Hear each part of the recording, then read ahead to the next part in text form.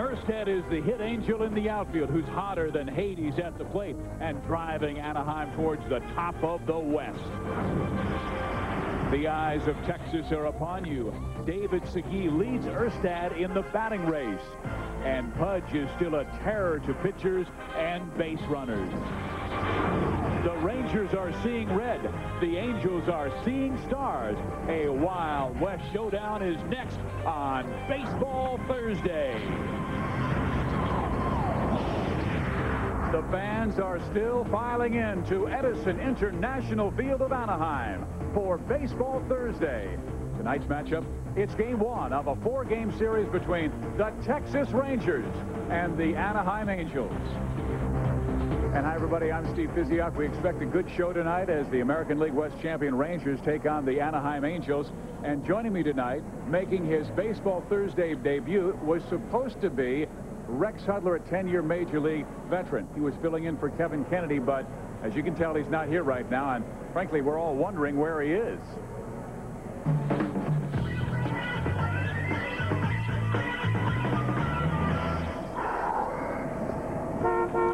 Let's go! I gotta get to the game! Come on! This is killing me!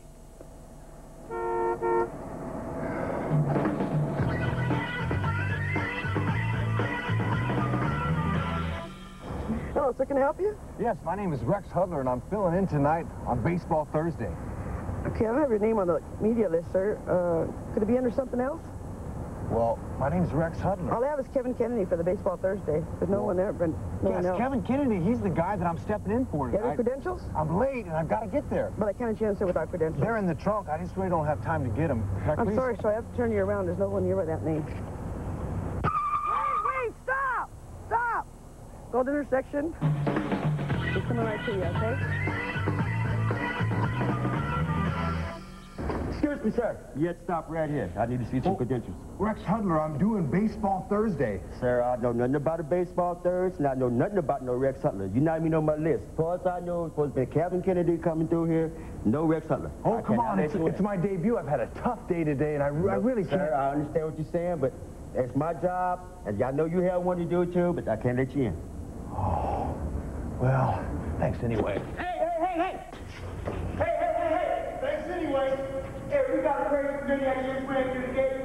I'm giving him seven more seconds because we got to play ball, and we've got to go with Ivan Hey, Rodriguez and Mo Vaughn. Where Wow. have you been? You're not going to believe This is your debut on Baseball Thursday. Brutal. You know, I'm give it a rest. I don't want to hear the excuses. wouldn't let me in. We've got My a couple of called me to left-handers, wish me good luck. Kenny I had to pick up Rogers and. Kent Mercker. And check these guys out. You'll have a chance to see Ivan Rodriguez for the Texas Rangers and Rafael Palmeiro for the Angels, slugger Troy Glaus, and Mo Vaughn. Next on Baseball Thursday.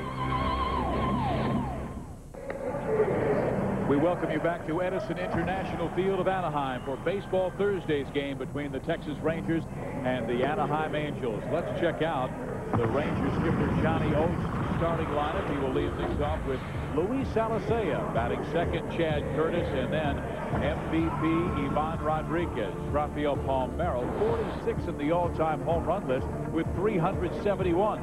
He'll be followed by David Segui and Ruben Mateo, two guys who are hot right now. Royce Clayton, Mike Lamb, and Jason McDonald. And Rex Hudler, I know that you have been really studying today, so could you give us a scouting report on Ken Mercker? Yes, I can, Steve, and he's a left-hander with four good pitches. He relies on changing the speed. He's got the fastball curve, slider, and a change. And his slider is his out pitch. He tries to get the batters to chase that, especially right-handers. And he relies on changing speeds. And his last start, May 6th in Seattle, he went five innings and only gave up three hits. Not one run through 76 pitches in the ball game had made nothing but bullpen appearances prior to that. 21 and a third innings of work.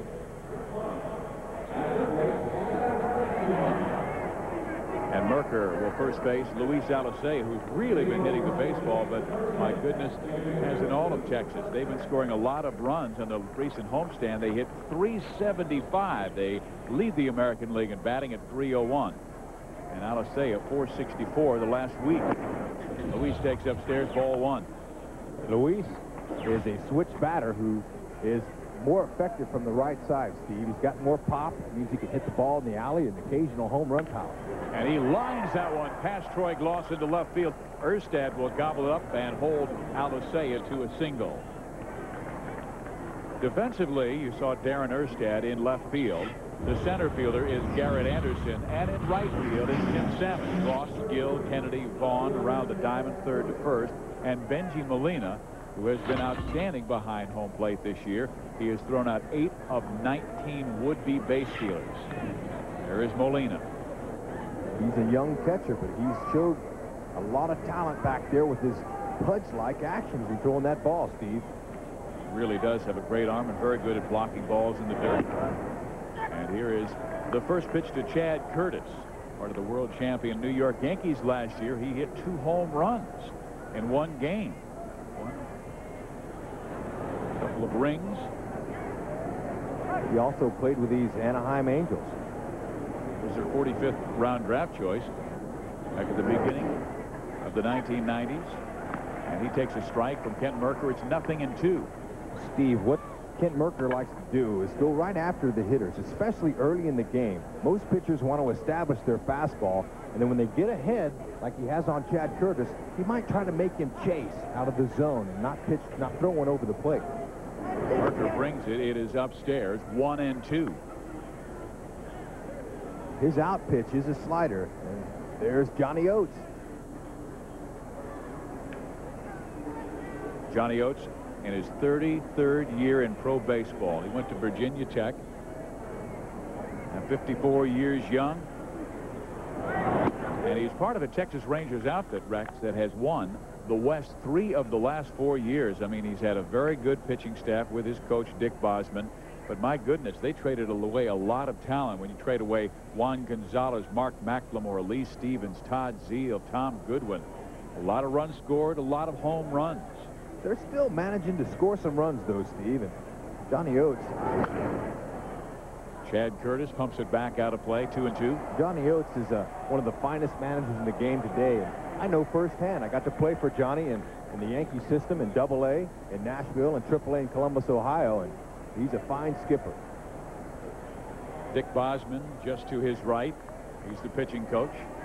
They won a team record 95 games last year, winning the West by eight games over the Oakland A's. Now the 2-2 pitch, and it is just over the head of Mercker. Stepping on second, throwing the first for the double play is Benji Gil. Well, you can't ask for a much easier than that. Yes, no. Kent Mercker, he, he gets a lot of ground ball outs because his curveballs and sliders, those type of pitches, the hitters hit the top half of the ball. He's able to record some double plays easily. Well, Mercker now must face one of the great bad ball hitters in the game. Ivan Rodriguez, he was the MVP last year, hitting 332, and he's four points better this year at 336, even though he's been in a bit of a slump. Just three hits in his last 18 at-bats.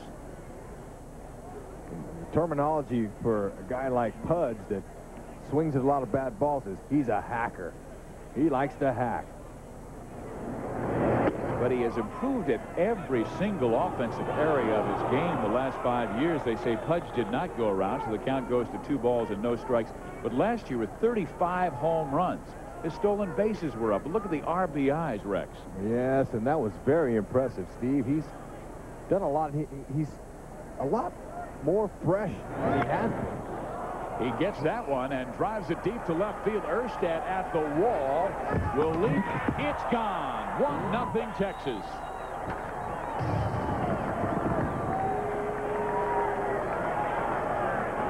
That pitch there, Steve, he was off balance. He, he hit that ball on his front leg. I tell you the kind of power that he has.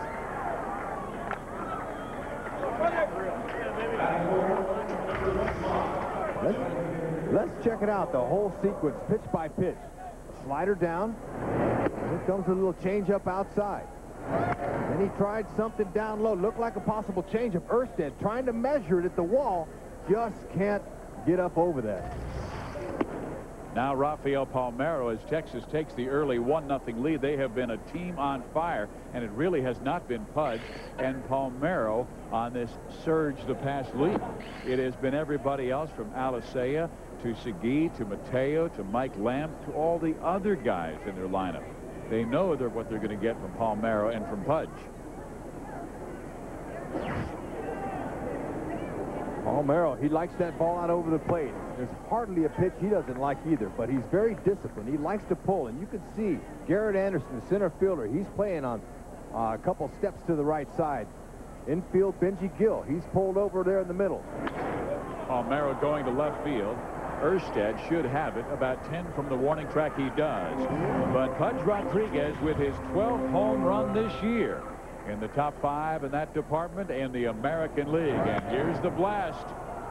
Number 12 and a 1-0 lead.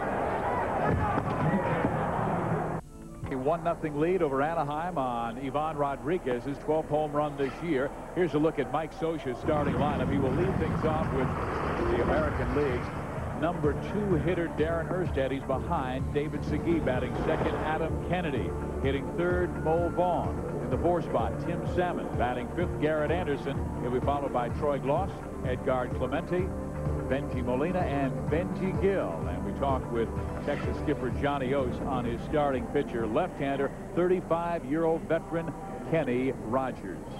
He knows that uh, eventually he's going to get a matchup that acceptable to him is in his favor. And I think that's what pitching is all about. Picking the people you want to get out and not letting the ones you can't get out not hurt you. Uh, he's been able to change speeds. He's always been able to pitch right-handers in. And um, when his command is on, he can be as good as there is out there. Well, Steve, Johnny Oates is right on, and Kenny Rogers, he relies on fastballs, curveballs, sliders, and changeups, and he invents pitches. He'll change speeds, he'll drop arm angles. He's a veteran left-hander who knows how to win. And he came up in this Texas organization, then bounced around, but he comes in and down on Darren Erstad. Quality pitch to get a guy who has been number one or number two in batting all year long. Erstad, 25, won't turn 26 until June 4th this year. He is out of Jamestown, North Dakota. And Erstad takes low one and one. It's hard to sit on any particular pitch from Rogers because you just never know what's co coming. So what you do is you zone him. That's what you call looking in a certain area. It Doesn't no matter what pitch he throws, look for it and try to pound it. If you hit it back up the middle, he's an excellent fielder. Better watch out because he, he's he's like a fifth infielder, Steve. He makes plays. He dives from the mound. I mean, he's he really helps his own cause. As a matter of fact, in high school, he was a left-handed shortstop signed for only $1,500 as a 39th round pick of the Rangers back in 1982, 18 years ago. The 1-2 to Erstad. He swings and sends it in the hole. Tough play for Clayton. It gets by him into left field. And Erstad with base hit number 58 this year, the best and most in all of the major leagues. Now defensively for the Texas Rangers, they have speed in center field in Ruben Mateo. Jason McDonald can fly in right. Chad Curtis can motor in left. Lamb, Clayton, Alicea, Segui on the infield. And look at Rodriguez with eight straight gold gloves.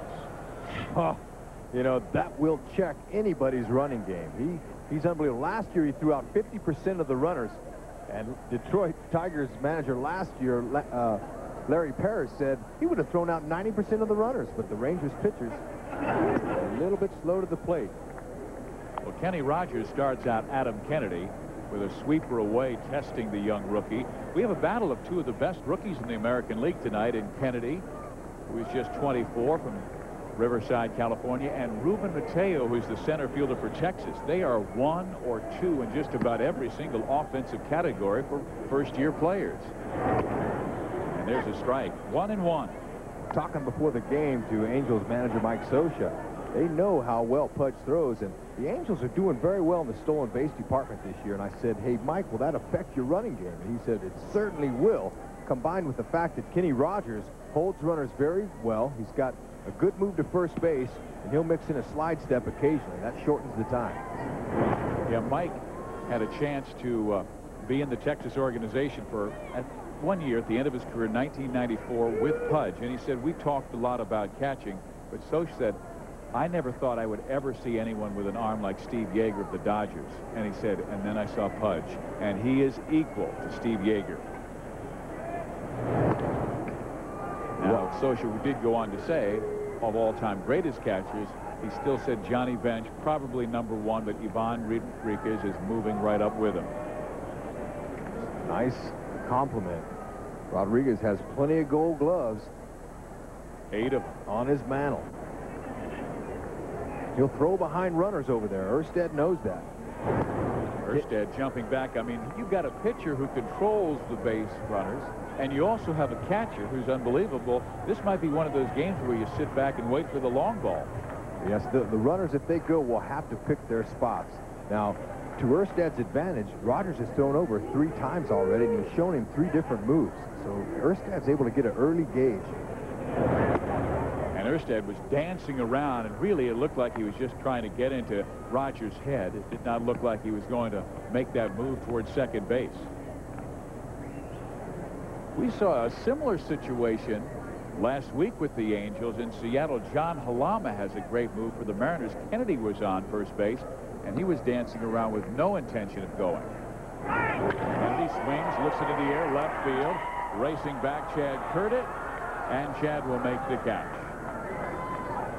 Erstad was running on that pitch, Steve. That might have been a hit and run, or it could have been just a straight steal. Now he's had some time to gauge Kenny Rogers' move. Now he feels comfortable. Let's see if he gets a good jump. I didn't get a great jump. That tells me that it was a hit and run. You don't want to get picked off at first base if the hit and run sign's on. So you could tell he waited and he also looked back to the hitter. Now he's peeking a little bit at Pudge Rodriguez. Runner, good base stealers will peek over there, see if they can see anything the catcher's going to give him. Mo Vaughn sends a base hit to right field. Erstad turns second. He will go to third. Here's the throw by McDonald. It is not in time, and Anaheim has runners on the corners with just one out. Mo's very aggressive early in the count. He likes to hit the first ball he sees usually, Steve, and he's all over this Kenny Rogers pitch. watch Erstad. He's a exciting base runner. Catches the inside part of the base, which is proper. McDonald's throw should have just put that in his pocket. There was no chance. So now the Angels have first and third, Steve, with Tim Salmon up with an opportunity to get tie this this game up. Texas with a 1-0 lead on Rodriguez's home run. Salmon has gotten hot after a very rough April. He Fouls it back. Salmon got up to only a 163 start, although he's hitting 311 the last three weeks to raise the average to 252. But Rex, this has been this man's story his entire career. Slow in April. Numbers is all you have on a player. And when you go on their past records, you know if the player's healthy like Timmy is this year, he's going to put up the numbers eventually. Baseball's such a long season, 162 games. Salmon takes outside one ball and one strike. Here we go right here. You can see first 14 games. Wow, 163. In the last 20 games, he's heating up. And look at the six home runs and 16 RBIs. He is getting after it. And even more dramatic, the first pitch he saw this year, he hit for a home run. That is foul. One and two. So in this situation, what Tim Salmon's looking to do, Steve, is to get the back underside of the baseball with the bat, get it elevated, hit in a sacrifice fly or a clean base hit. Now what Kenny Rogers wants to do, keep the ball down, hoping Salmon hits the top half of the ball and they can turn a double play and get out of the inning. You see Clayton and Alicea with the way they are positioning themselves, both have very good range. Salmon again sends it foul right side. It stays one ball and two strikes. Rogers not really a strikeout pitcher. He can get one when he needs one, but when he came up, he had a fastball that was clocked near 94 miles an hour. Not anymore. It doesn't even top out at 88, 89. If he pumps it up to 90, that will be on rare occasions. Well, he can pitch, and that's the key. It's not how hard you throw it. You can see he's given Tim Salmons a, a wide variety of pitches. What Johnny Oates said in the opening, though, is he likes to come inside. So the hitter in the back of his mind likes to, has to look inside a little bit but Rogers has to make sure he gets it in off the plate and doesn't make a mistake out over. A good hitter like Tim Salmon will beast on a ball like that. Well, he's backed off the last three. He went 85, 83 miles an hour. That last pitch was only 70. So he might go fastball. Looks like he will come fastball in on Salmon. And Salmon pops it up. Royce Clayton makes the catch. Two outs.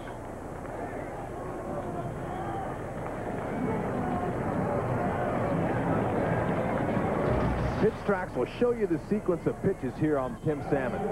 86 in, 82 away, 81 out, 84 inside, 71 down low, and 86 he got him to pop up on. This pitch looks good to a hitter. The ball up and in, and it was well placed by Rogers. The runner won't be able to tag an advance home on that because he just wasn't deep enough. So Kenny Rogers almost out of a jam had Erstad at third base. Excellent speed with just one out, but two gone now, and Garrett Anderson at the plate. Left-handers like to throw a lot of curveballs to Garrett. That's a scouting report on Anderson. They show him the big hooks early, and then they try to get him away with fastball. Now, Garrett's strengths are fastballs up and out over the plate.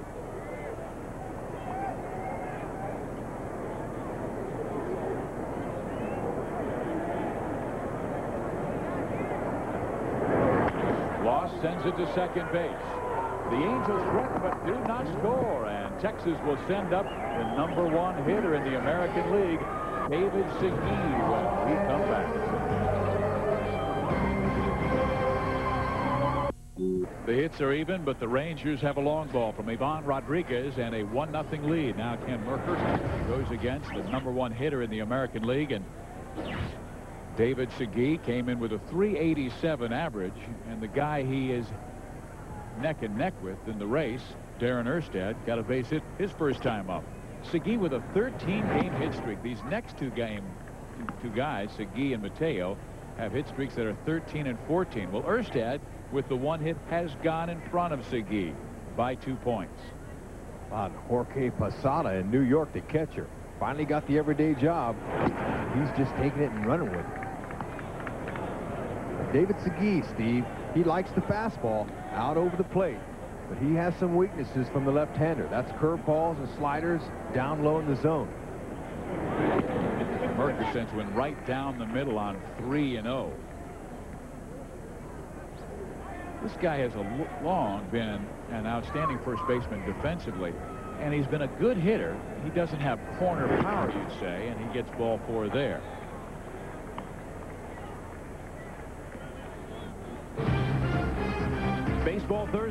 Fox Sports Net is brought to you by Subway, the way a sandwich should be. By Nissan, driven. By Toyota, Toyota making it happen every day. Steve Physioc, Rex Hudler with you at Edison International Field. We'd like to welcome those viewers from Fox Sports Florida now joining us. It is the Texas Rangers and the Anaheim Angels. Ruben Mateo, who's been one of the bright young rookies in big league baseball this year, will lead things off. And he gets an off-speed pitch from Kent Mercker for strike one.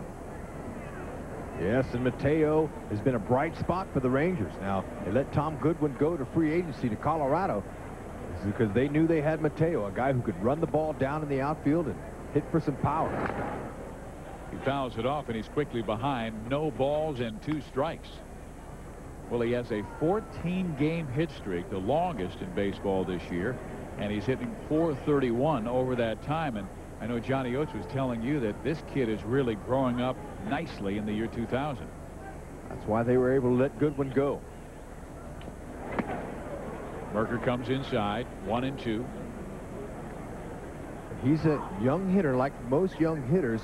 They're kind of free swingers. They haven't exactly found their their pitches and which ones they can pound and which ones they take for a strike. So with two strikes, he'll try to be defensive up there and just put the ball in play where it's pitched. Mateo had one that came inside on him, fouls it straight back. Mercker's out pitch is a slider down. There's skipper Johnny Oates.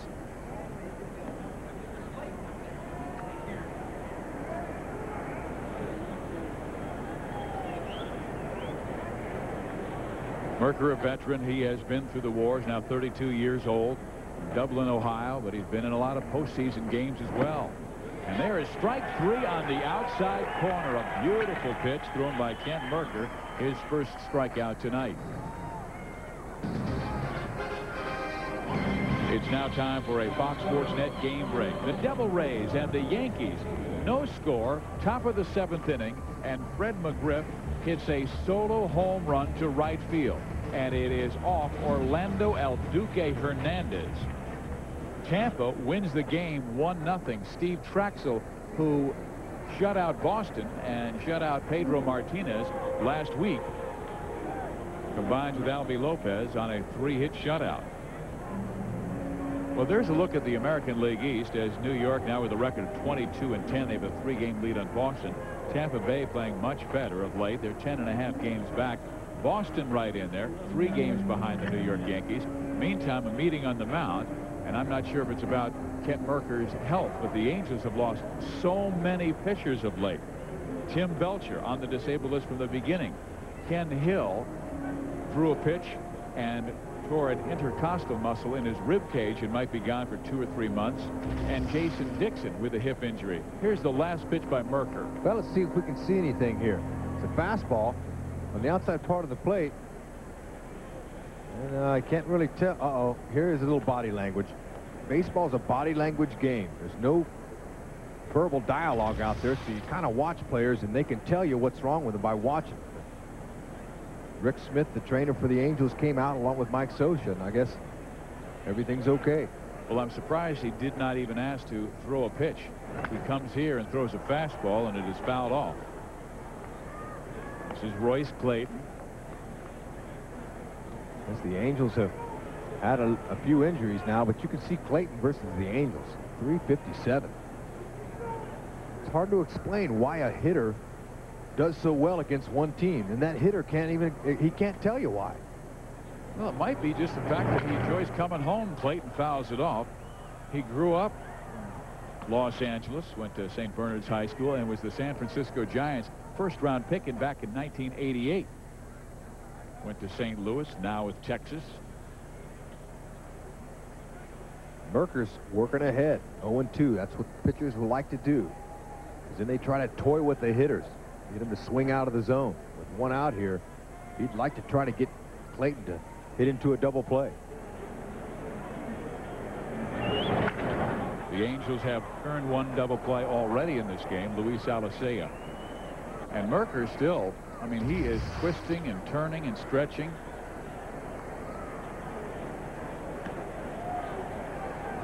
Yeah, it, he, he's feeling some pain, Rex. Yeah, that's not good body language, especially for Mike Scioscia. He's had. There's Bud Black, pitching coach. He may have to pitch. Pull himself out of retirement the way the pitchers are going down for the Angels. That has been their story through the years. This is a club that has been plagued by so many injuries the last four, five, six seasons. The 0-2 pitch comes inside, just missing. One ball and two strikes. There's something, there's something wrong with him, and he's a veteran pitcher, Steve, and he knows that if you try to hide an injury as a pitcher, sometimes that ends up being a lot worse. But he, he kind of knows maybe it's something he can, he feels like he can pitch through, but he's a concerned manager. Yeah, he, he's in a lot of pain, and they're going to have to get him out of here because Mercker, it is in his neck, apparently, that is bothering. So Mike Scioscia comes out for the second time in this inning.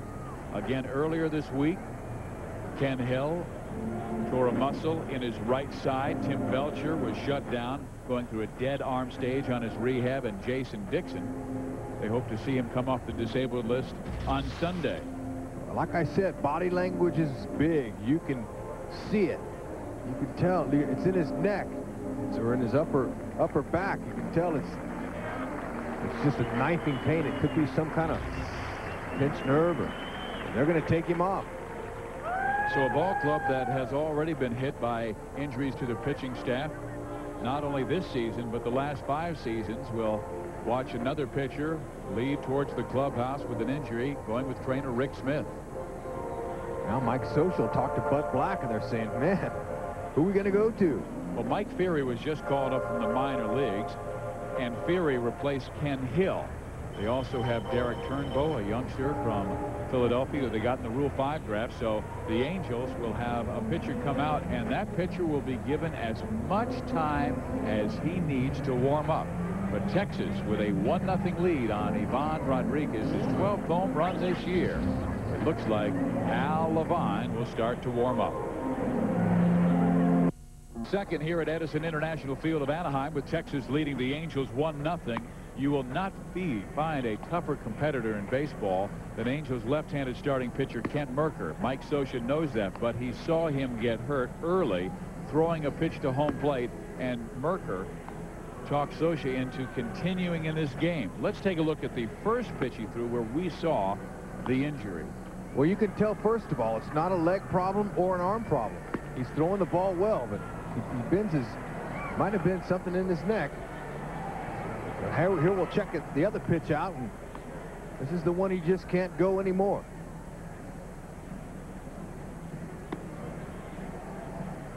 This was the last he threw and then went down to one knee. Scioscia came running out. And Ken Mercker, here's the final pitch he threw of this ball game, Rex. Yes, and he grabs his neck. So something wrong. Something wrong up there in the back of his neck, and that's unfortunate. And Al Levine will be given as much time as he needs to warm up. So while we have the time, we've got time for a Fox Sports Net game break talk about the Atlanta Braves game against the Florida Marlins where something really special happened. The Marlins win the game 5-4, but Atlanta had great defense. Bottom of the fifth inning, two on base. Mike Lowell grounds to Chipper Jones. He throws to second base, then to first base, a triple play, and the Marlins win 5 to 4. Preston Wilson hit his sixth home run for the Marlins. And in the National League East, Atlanta, they won 15 straight games, and they have a record of 22 and 12, a four-game lead on Montreal, Florida, and the New York Mets. But the way Mike Hampton threw the other day, I think that is encouraging for the Mets, who many consider were either going to be wild card contenders or championship contenders in that East. Philadelphia, eight and a half back. I mean, look at Florida this year. Florida's been the surprise of the league, no doubt about it. Montreal, Felipe Alou has that team raring to go, playing some good ball. Here is Al Levine out of Chicago, Illinois, and this has his, been his job a lot this year, and he's done a very good job helping out Mike Scioscia to get to the later innings, and Shigetoshi Hasegawa and Mark Petkovsek before Troy Percival. Al Levine will use a sinker slider. That sinker is really a fastball, and he holds it with two seams on top, and that gives it a little sink in action. Gives up a lot of ground balls.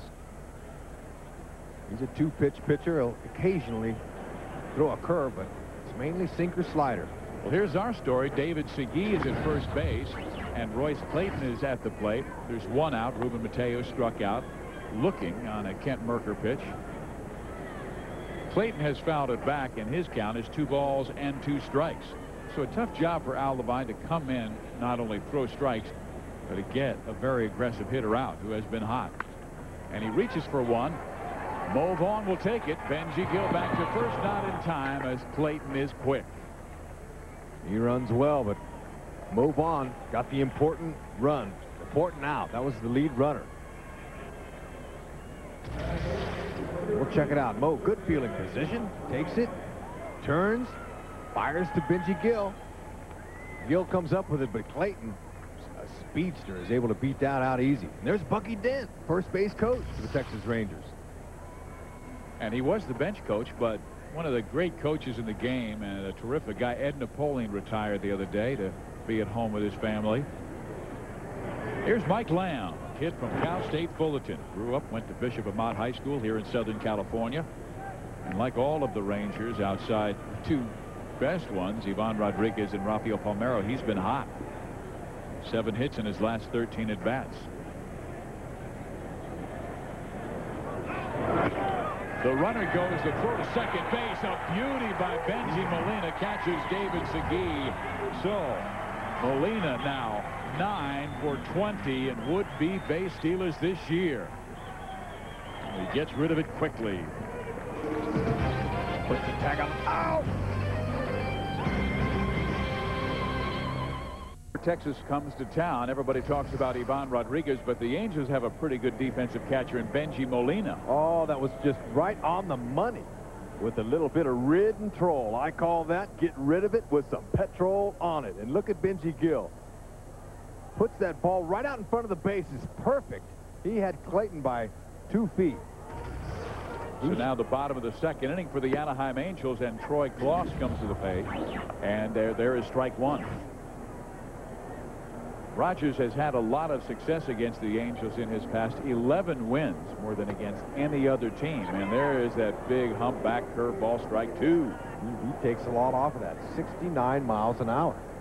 I mean, he's he's past the pride factor of having to throw every pitch 90 plus. He's become a pitcher, Steve, and a good one. Another curveball, this time fouled off. Good pitchers hit the spots, change the speeds. In and out, up and down.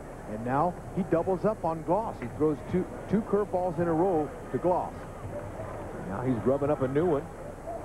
And who knows, as a hitter now with two strikes, you don't know what's coming, really. Fastball, slider, change, curve. I mean, a lot of pitchers on 0-2 will go up and in hard. But he came with that curveball. And this time he has Glaus reaching for it at 84 miles an hour. So even though he added 15 miles an hour, it's still just 84 with some sink. Right, that ball was well placed on the bottom outside part of the plate.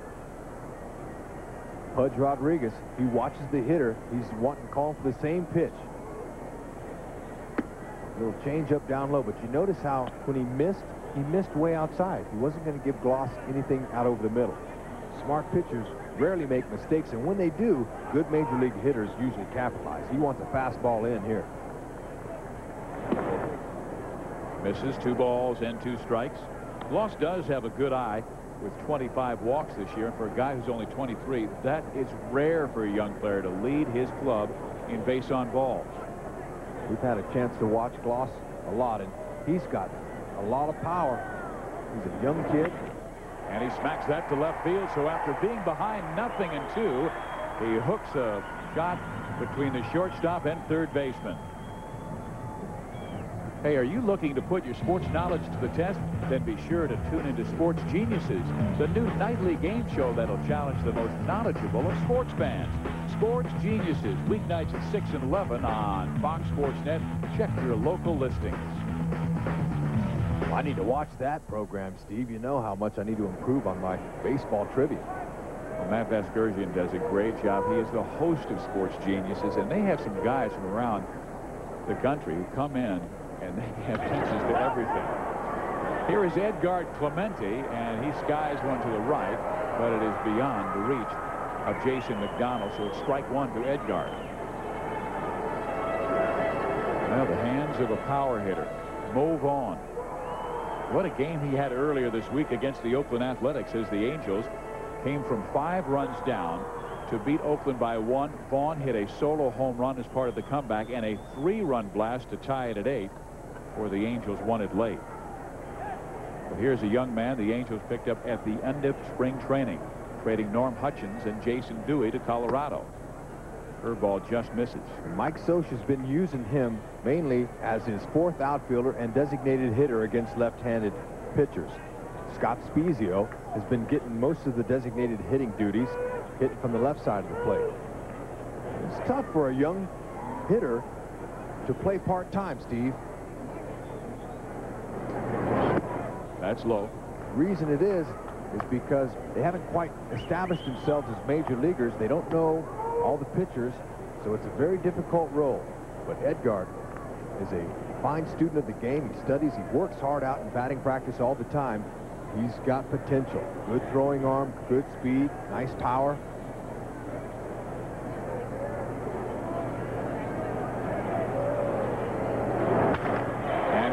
One into the hole in left field for a base hit.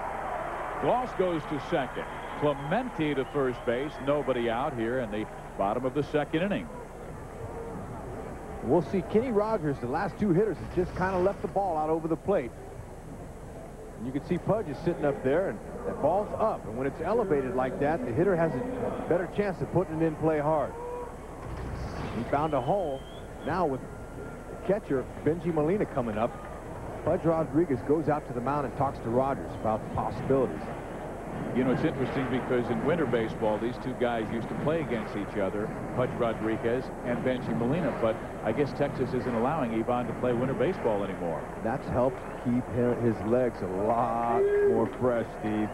Do you, see, do you see a bunt coming on here? Yes, this is a sacrifice situation. Bengie Molina there at the bottom of the Angels order. These are the guys who are able to move the bats, control the bats, and try to manufacture a run. Molina bunts first base side and a beauty. Rogers only play to get Molina. Glaus goes to third. Second base Clemente. Bengie Molina with a nice job and in sync will show you right here the runners. Bengie Molina. The runners got to make sure the ball gets down on the ground before they take off running. Once they see it on the ground, then they got to go. And the object of the sacrifice bunt is to move the runners up to second and third in the hitting position. Third baseman in, Mike Lamb. Pushes it to first, Rogers, an excellent fielding pitcher, takes care of it himself.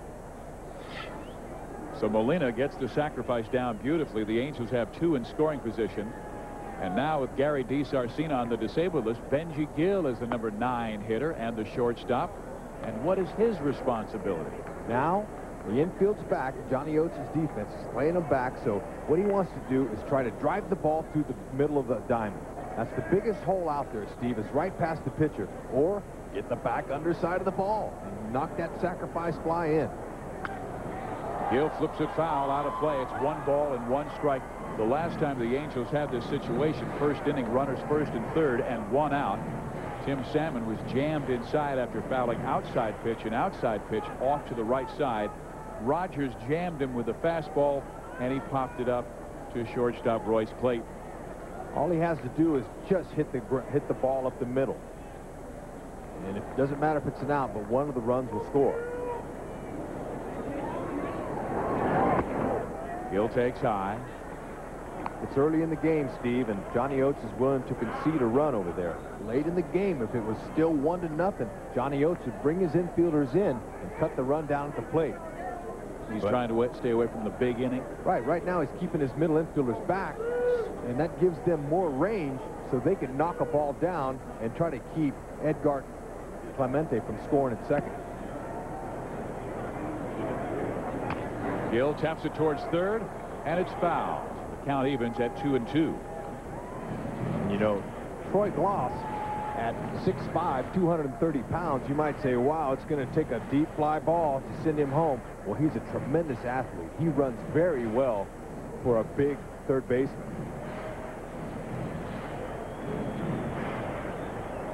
Glaus single to start the inning. Clemente single to left. Molina with the sacrifice advancing the runners to second and third. Now the 2-2 count with Kenny Rogers against Benji Gil.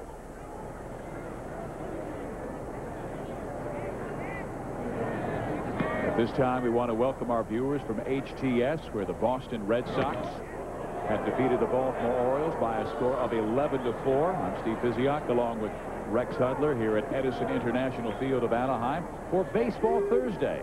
It is a 1-0 ball game. Texas has the lead on Ivan Rodriguez's 12th home run. Meantime, Kenny Rogers in a duel with Benji Gil. Runners are on second and third for the Angels with one out. And here's the 3-2 pitch. Curveball tapped foul. Well, he didn't give in. Nope.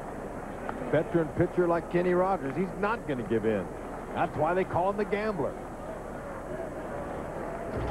Two pitches ago, let's check this out here. Home plate umpire Jerry Meals, it might have fooled him. Nice little, they call that a yellow hammer, a, a ball that really breaks down. Loss at third. And a swing and a miss and a strikeout on a 69 mile an hour curveball thrown by Kenny Rogers. What a tough pitch. It's a tough pitch to lay off of. Three and two. You're wanting to knock the runs in. And this is the perfect pitch. Big curveball, looks good to hit. Bottom drops out credit Kenny Rogers for pitching tough in a jam, and that's what Johnny Oates talked about earlier. A, professional pitcher like Rogers, when he gets in trouble, will make the pitch. And he has to Tim Salmon now to Benji Gil in the second. Salmons came in the first. Now Darren Erstad, 58 hits this year, and he's taken the batting lead over David Segui by two points. 389 for Erstad, 387 for David Segui.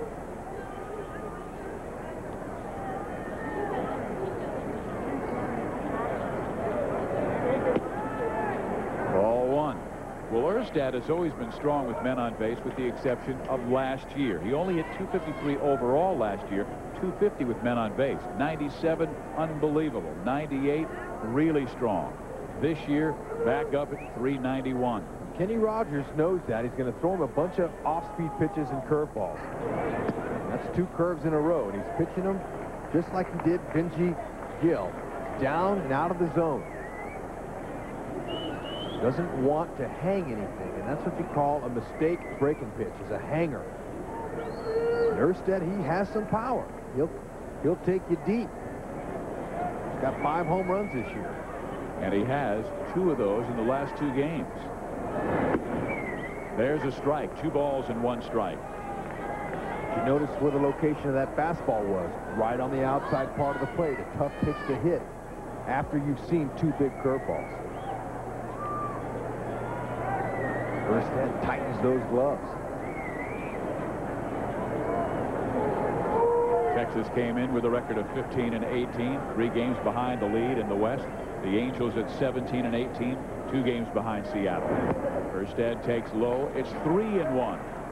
Erstad has not walked in more than a week with 17 walks this year.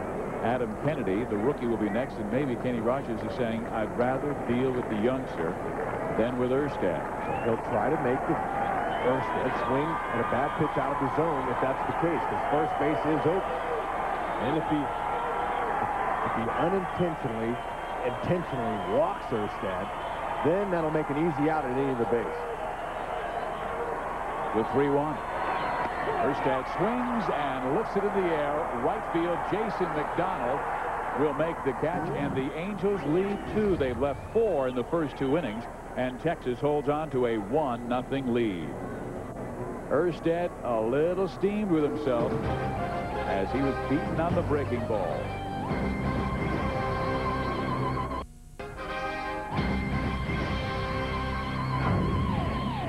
Welcome back to Baseball Thursday at Edison International Field of Anaheim, where the Angels trailed the Texas Rangers 1-0 on Ivan Rodriguez's 12th home run this year.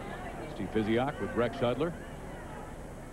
It is a beautiful evening, rather cool evening. Started at 66 degrees here in Southern California. And we started with a matchup between Ken Mercker and Kenny Rogers. But Mercker threw 30 pitches, and somewhere around 24, 25, he must have pulled a nestle neck muscle, and uh, about five more pitches later took himself out of the game, gave up two hits, one run. That was the home run by Ivan Rodriguez. So here we'll see Mike Lamb at the plate with a home run this year and six RBIs. Now Levine. Fly ball, Darren Erstad, and one out.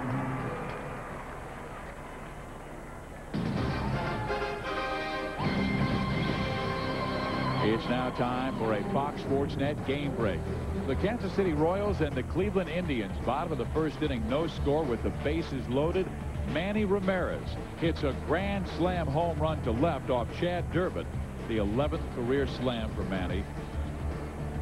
At that time, it was 12 nothing in the sixth. And Manny Ramirez leads the Indians to a 16-0 victory. That is the final score now. 16-0 Cleveland over Kansas City. Here's Jason McDonald with one out in the third inning. Levine delivers and misses outside two balls and no strikes. He's a good little player who came out of the Oakland Athletics organization, played college football and baseball at the University of Houston. He's got good speed. He played center field for Oakland A's last year. Likes the fastball. He's got a little pop, Steve. He's hit three home runs this year. He's worked Al Levine to a 3-0 count. And those three home runs came in consecutive games. There's a strike. Three and one. He, he's a good base stealer. So he'll try to get on there with a walk. takes a pitch.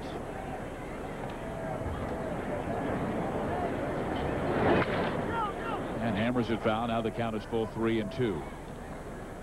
McDonald, 28 years old, went to school in Sacramento, California. Hit 209 last year with Oakland. I told you about his days.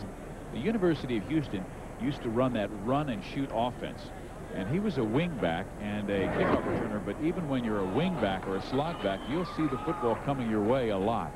McDonald takes ball four, and that is the second base on balls issued in this game by an Angel pitcher. The first by Kent Mercker, now the first by Al Levine. Well, the last word, that means Jim Rome chats it up with Chicago Cubs outfielder slamming Sammy Sosa tonight at 11.30 on Fox Sports Net.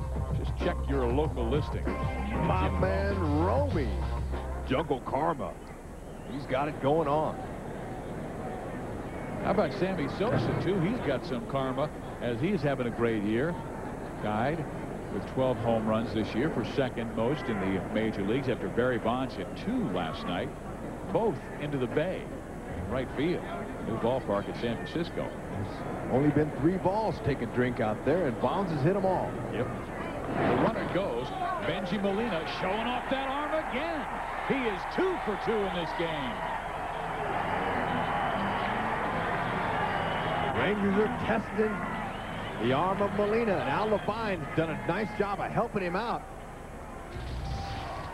Coming set, getting the ball to him very quickly. Nice little high leg kick. Look at Molina. He just got a nice throwing style over the top and gets it there to Gil in plenty of time. Mm, Benji Gil dropped the gate on him there. That puts his knee down in front of the base. Keeps him from getting in there. So Molina actually with a better caught stealing percentage than the gold glover Ivan Rodriguez. Rodriguez is 7 for 17 this year and Bengie Molina is now 10 for 21.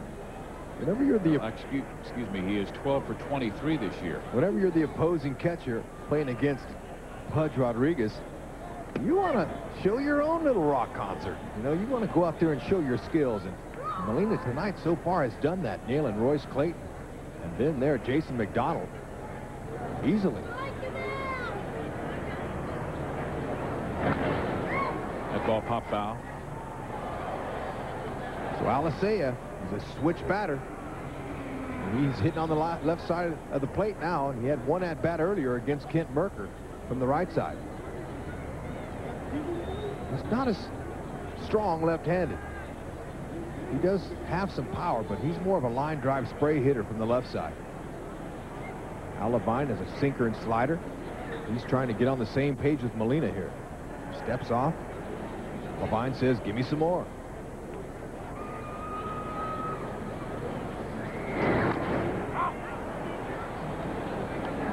Again, hammered at the plate and off Alicea's foot. Wow, that hurts. You know, you know, Steve, there, there might be some people out there that don't know what that feels like. You know, I think that, you know, if you want to know what that feels like, go out in your garage, get a hammer, and whack your foot with it. I think I'll take your word for it. but that's about what it feels like. It's pretty painful, especially on the toes. Now, that hit his back leg. That hit off his back knee. And that's even worse. Bowing off your knee, your shin, all those things, little owies. Though, playing a lot because of the injury to Frank Catalanotto. Catalanotto went out on rehab assignment today, but Texas has been hit by a lot of injuries. Justin Thompson out for the season with a left shoulder. He was the principal in the Juan Gonzalez trade. And that ball flipped towards left field. Erstad will not reach it. And it is a two-out hit for Luis Alicea, who is now two for two. And he's hitting darn near 500 in his last eight games. Well, I talked to Johnny Oates for some time today, and you know, the trade with Juan Gonzalez and five players they gave him, or they got in return, he told me today they should just call the trade off, Rex. Call the trade off, give us Juan back, we'll give all the players that we got from the Detroit Tigers back because it just hasn't worked out. Juan's not happy in Detroit.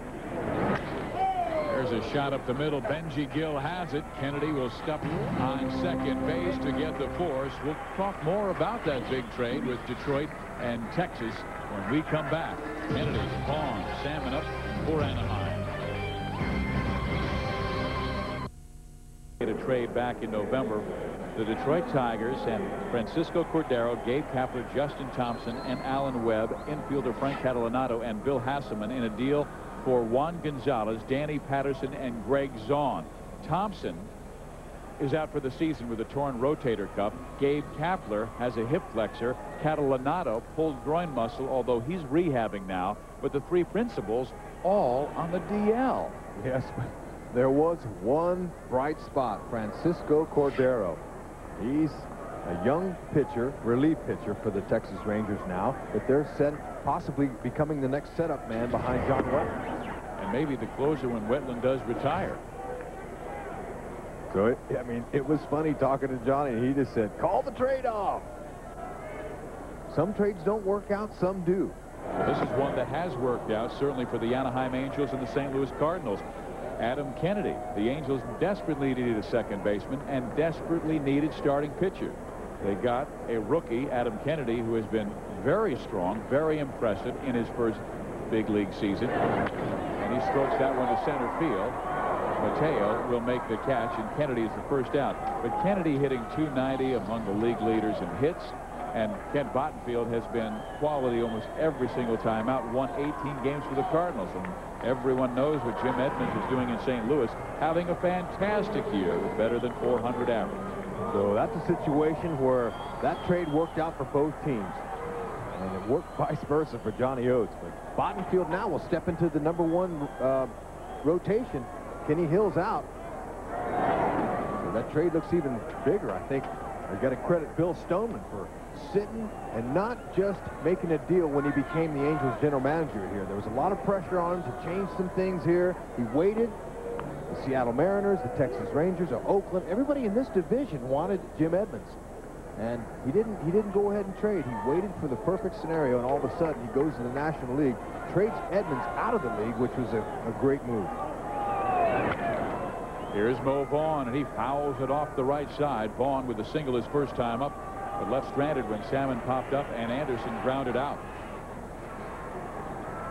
Injuries certainly were the Angel story last year. Mo Vaughn, first play as a halo, fell down the opposing dugout, had a high ankle sprain, and really, Rex, he was never the same. Even though he had 30-plus home runs, 100-plus RBIs, Mo Vaughn will tell you it was one of his poorest seasons since the early 90s. I mean, to, to hit 30 and knock in over 100 on one and a half legs, that's not a bad season, Steve, but Vaughn wasn't happy with it.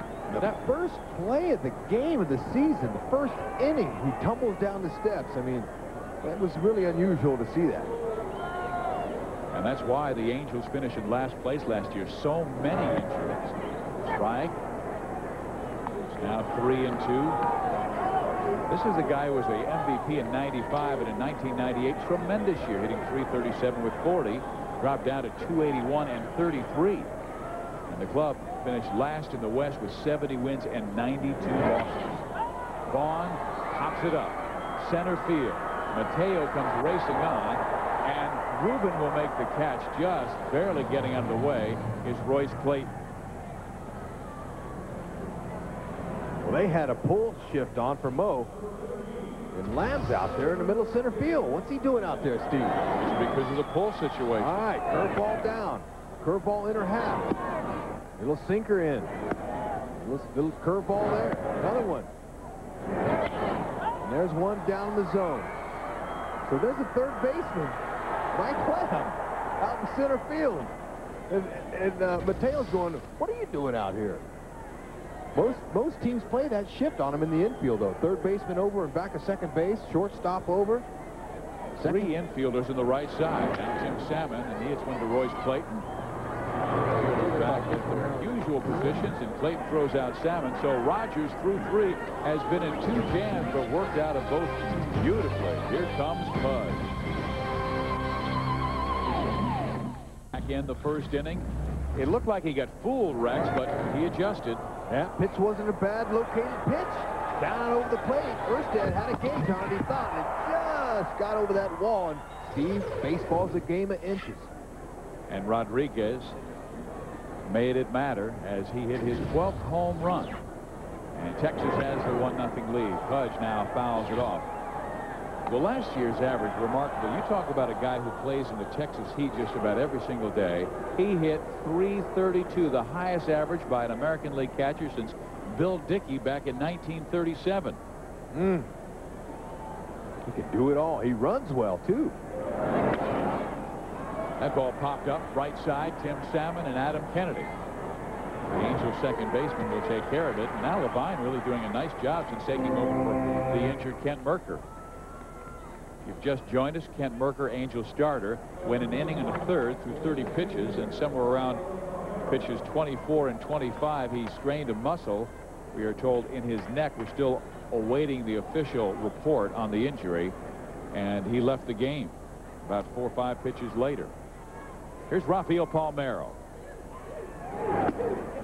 You know, Pudge won Most Valuable Player by his peers last year and by the Associated Press, but Rafael Palmeiro won the MVP according to Sporting News. And I say that because what an unbelievable year he had. He had 47 home runs last year, drove in 148. And he did it on a weak knee, remember. He is what they call a professional hitter, Steve. Tremendous skills. He'll go with the pitch wherever it's thrown, and look at that. Ground rule double. No, it does not, is not touched by a fan. They had a wild play with fan interference.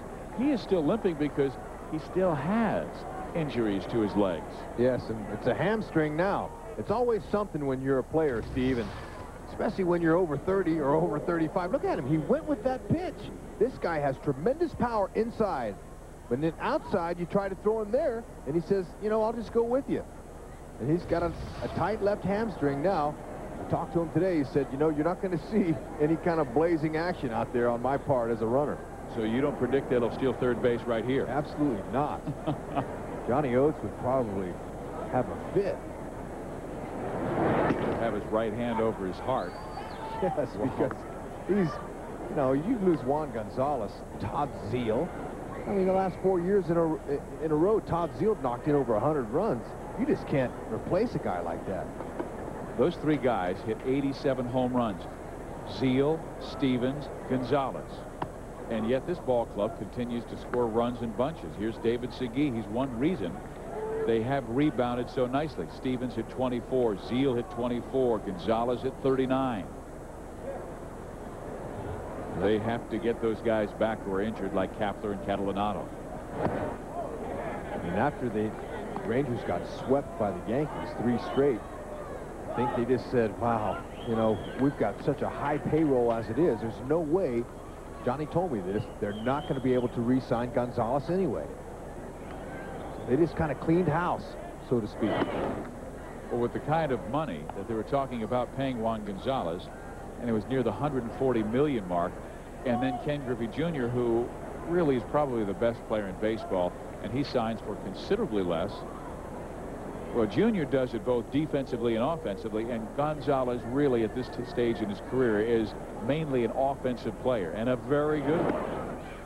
There's a snap toss, and it goes into center field, but Palmeiro staying put at second base. Palmeiro knows that he has to get a good secondary lead if he's going to score. So he was really bouncing off after the pitch. And this is another weapon like Pudge Rodriguez that Molina likes to show. He'll throw behind the runners. Now this, they might have had him if the ball was on line. The ball was off by about five or six feet. You can see Palmeiro limping around out there. But he's trying to get a good secondary lead. And that's what the, they call, once, once the guy throws the ball, you get an extra lead. That's the secondary. Segui thinking Levine. Segui got under it and lifts it in the air. Center field, Garrett Anderson, two outs. Well, Bengie Molina certainly has shown off his arm. Great success in this game, two for two and would-be base stealers. Yes, and it all depends on the pitcher. He's got to give you a good ball. That was up and out, and he was able to clear Molina out back there. Now here, we'll watch him again. Same pitch outside. He's able to clear his way from the hitter, and he got McDonald as well. Clayton and McDonald, both good base stealers. But like I said, the pitcher really helped him both times. Now Ruben Mateo. howling it off right side. And this guy has long been the Texas Rangers' number one prospect in their organization. But as you said, Goodwin going to Colorado opened up center field for Ruben. And he is not disappointed. You see that 328 average, but most of it has come in recent weeks with his 14-game hit streak.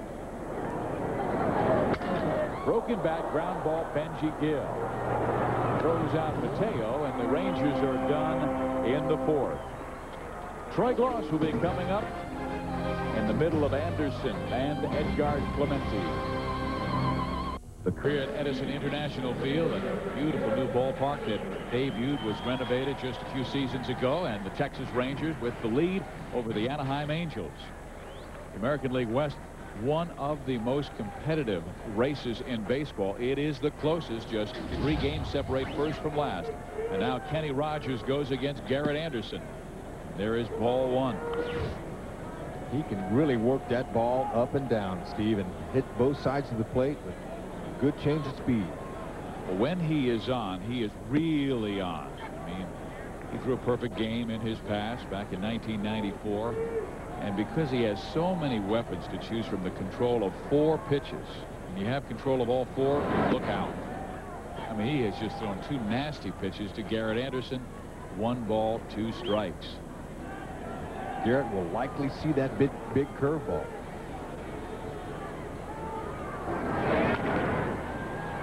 Drop down sidearm a little bit. He'll do that occasionally with left-handed hitters at the plate. Just another look. That's right early in the game, I told the people he will invent pitches out there. Take a lot off. You know, he's smart. And he might get a certain gauge on a guy and what he's doing, and he'll say, I'm going to throw him the same pitch, but I'm going to drop my arm angle and take a little bit off of it. There it was again. He dropped down.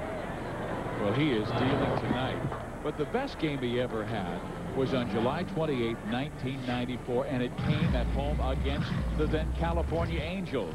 Kenny Rogers, the last man he would face, the Angels' Gary DiSarcina, and he would send a fly ball to Rusty Greer in center field just the first, at that time, perfect game by a left-handed pitcher in hey. the American League's history. Well, I was in that game, and you know no. that I almost got a hit in that no. bottom of the ninth. I led the inning off, Steve. I you was struck in that out in the game. You lined out in the game. I don't remember you doing anything well. Oh, don't kid yourself. I was in that ballpark, and it was electric there at Arlington Stadium. I'll never forget it. It was a packed house. I was taunting those fans leading off the inning that inning and saying, I'm going to get him.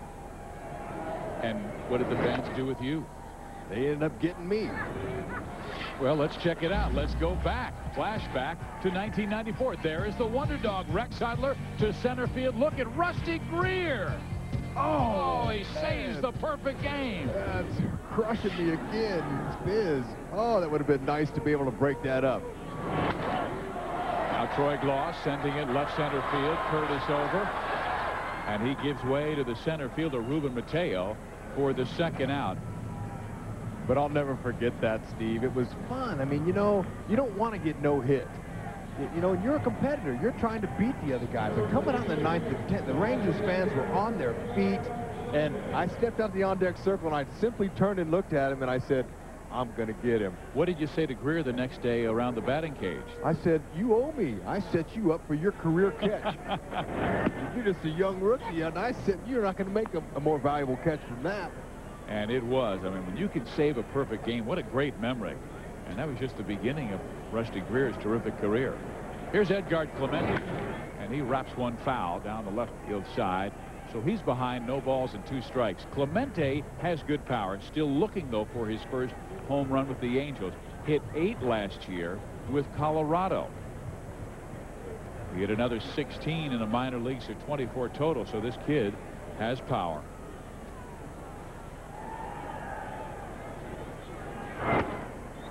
Inside corner, what a beautiful pitch. Rogers is dealing after being troubled early in jams in the first, in the second. He is on beam here in the fourth. Fifth inning we go. The Texas Rangers have the lead over the Anaheim Angels on Pudge Rodriguez's first inning home run. And it's time to dine. I mean, this is the Diamond Club right below us behind home plate. And it is a wonderful area. And they have fantastic Parisian cuisine down below. Great ballpark. They have restaurants all over this facility. Beautiful place. They remodeled it years ago. Al Levine is able to knock it down and then underhand to Mo Vaughn at first base for the first out of the fifth inning. So Royce Clayton is gone.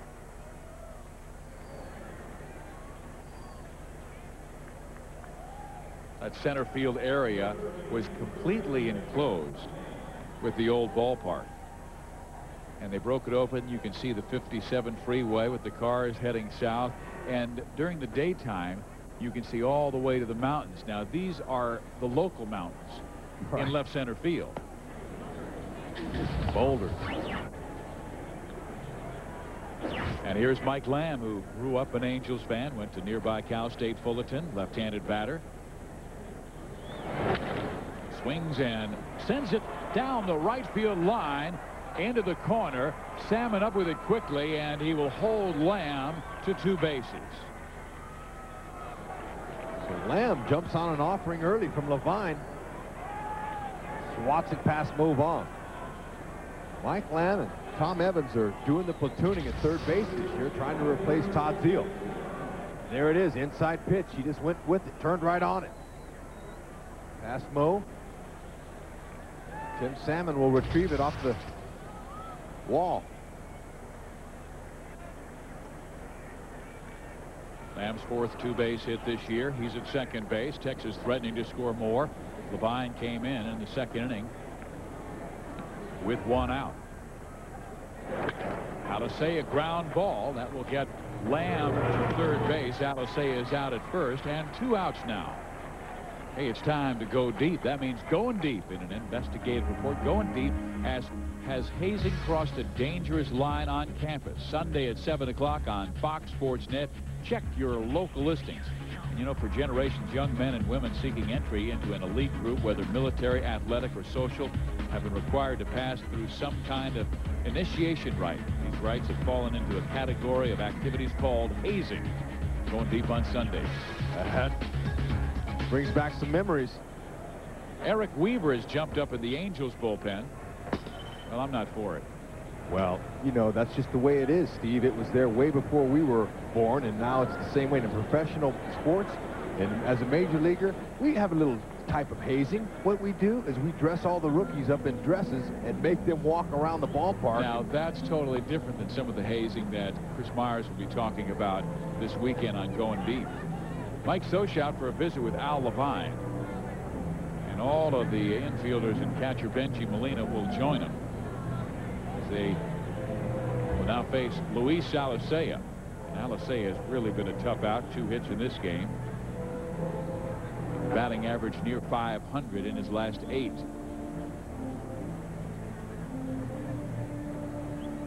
So Levine really doing a terrific job He's coming on in the second.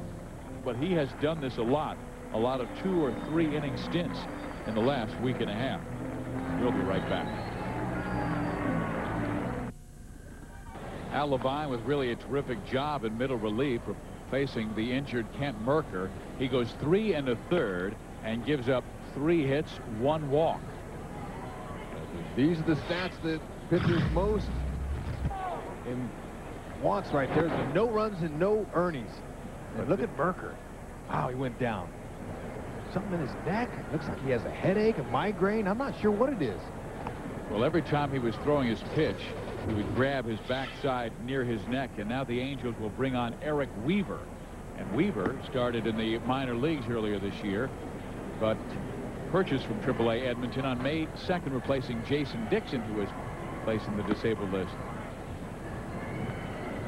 He's a big guy, Steve. Fastball, split finger mainly. While we have the time, Rex, it's now time for a Fox Sports Net game break. The Seattle Mariners were visiting the Oakland A's tonight. It's a 1-1 ball game, bottom of the fourth inning with two runners on, and Oakland's Ramon Hernandez doubles over center fielder Mike Cameron's head. Both runners will score. Oakland now leads 4-1 in the bottom of the fifth inning. Seattle with the lead in the American League West by a game and a half over Oakland. The Angels two back the Rangers three back. And here we have Eric Weaver at 6'5", 225 pounds, ready to deal with the Texas Rangers. Mike Lamb is at third base. Luis Alicea, two for two in this game, is at the plate. Ball one. I'm not really sure why Mike Scioscia took out Al Levine. He was doing very well, and there was there's two outs. All he needed was one more to get out of the inning, and not really sure uh, why they took him out, but he brought in Weaver to try to get Luis Alicea. Here's the split finger pitch. One ball, one strike. So Levine throwing 39 pitches, but we talked about Levine being used more and more recently with the injuries to Angel pitchers. When Ken Hill went down earlier this week, it was Levine to come out of the pen to keep things close, and he did just that. He was the winning pitcher in the 13-inning game with the Tampa Bay Devil Rays when he went three-plus innings and got the victory. Alicea says he did not touch the baseball. And the home plate umpire, Jerry Meal, said, yeah, it just tipped off your bat, so it's strike two. One ball, two strikes.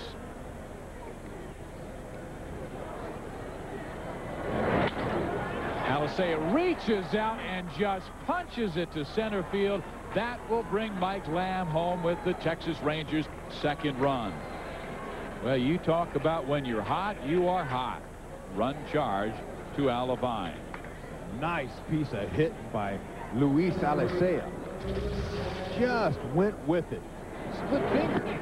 Well, that was the first pitch was a fastball. Then there's the split. High fastball, foul tipped it. Then it went with another split down low, and look at him. He just went with it, touched it, and that's all he needed, Steve, was just a lousy single to score that run. Now Chad Curtis grounded out twice to shortstop Benji Gil. Weaver throws the fastball at 87. And Weaver does have a fastball upwards of 91, 92 miles an hour.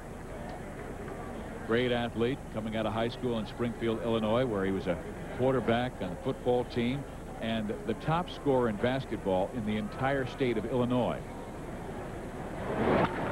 That ball is roped to left field for a base hit. So Weaver has been up in the strike zone. Alicea got one down. Curtis got one up and singles to left. You can't walk. Look at that ball up in the zone. That ball's way up here, and, and just put a bullseye on it. You, they're, they're going to hit that ball more often than not. And Chad Curtis, he's a big league hitter. He knows what to do with it. Throws out a single. With two outs here, Mike Scioscia pulled Al Levine. Then brings in Eric Weaver. We're not exactly sure why, but Steve, that's maybe that's why we don't manage. And Levine had thrown almost 40 pitches, and just two days ago he had thrown almost 40 pitches. Well, that's why. He wants to save Al Levine. And coming to the plate now, Ivan Rodriguez, who has homered and popped up. Rodriguez lifts it in the air left field. This should be the final out of the inning. It is Erstad making the catch. But Texas scores one more. Levine doing a strong job, and Weaver pointing to himself saying, my fault. Steve Physioc, Rex Hudler with you on a baseball Thursday night. Texas Rangers fans here at Edison International Field, but the young man has a halo cap on, so they're split right down the line. Yeehaw. He's got that 10-gallon hat on. Kenny Rogers, who has been awfully sharp in the last two innings, was on the ropes in the first two innings, but the Angels could not come up with a clutch hit. Twice they had a man at third base with less than two outs, and twice the Angels could not get that run home. Bengie Molina will lead it off, and he fouls it back one ball and one strike. Pitcher like Rogers is a lot harder to figure out, Steve, than a guy who just throws 95 miles an hour every pitch. You can eventually time that as a hitter. But when Rogers is changing speeds, arm angles, pitches, locations, that really baffles the hitters. It takes them a while to figure it out. And Anaheim really a fastball hitting club. Molina sends it high in the air, left center field. Ruben Mateo, about 15 from the warning track, will make the catch, and that is the first out. And let's see now, that is two, three, four, five, six, seven, eight, nine in a row retired by Kenny Rogers. He's got it going on. The Angels are going to do anything. They're going to have to come through in the clutch. They had him second and third two times tonight. And he's having success in a rare spot. Here's Benji Gil. Nice bunt. Rogers up, though, and quickly tosses to David Segui for the second out. Okay, next week on Baseball Thursday, a good one. Most of you will be seeing the St. Louis Cardinals against the Philadelphia Phillies, and that means Big Mac with 12 home runs this year. Others will see the Minnesota Twins and the Oakland A's. That is next Thursday at 10 o'clock Eastern, 7 o'clock Pacific on Fox Sports Net. Jason Giambi having a terrific year with 14 home runs this year. The Oakland A's came to town and took two of three from the Angels. He's right up there in the RBI department, too. 37. Top flight home run leaders, Giambi with 14, Barry Bonds with 14. See the rest with 13, and then McGwire with 12, but Sosa hit his 13th today. Some people might think that baseball's wound like a top flight golf ball, but I'm going to tell you, Steve, these hitters are big and strong. They, I think that's the biggest difference. That's right. You train all year round. They are solid. You put a piece of wood in a guy's hand like that. Erstad, could this be three for three? Yes, three home runs in the last three games for Darren Erstad.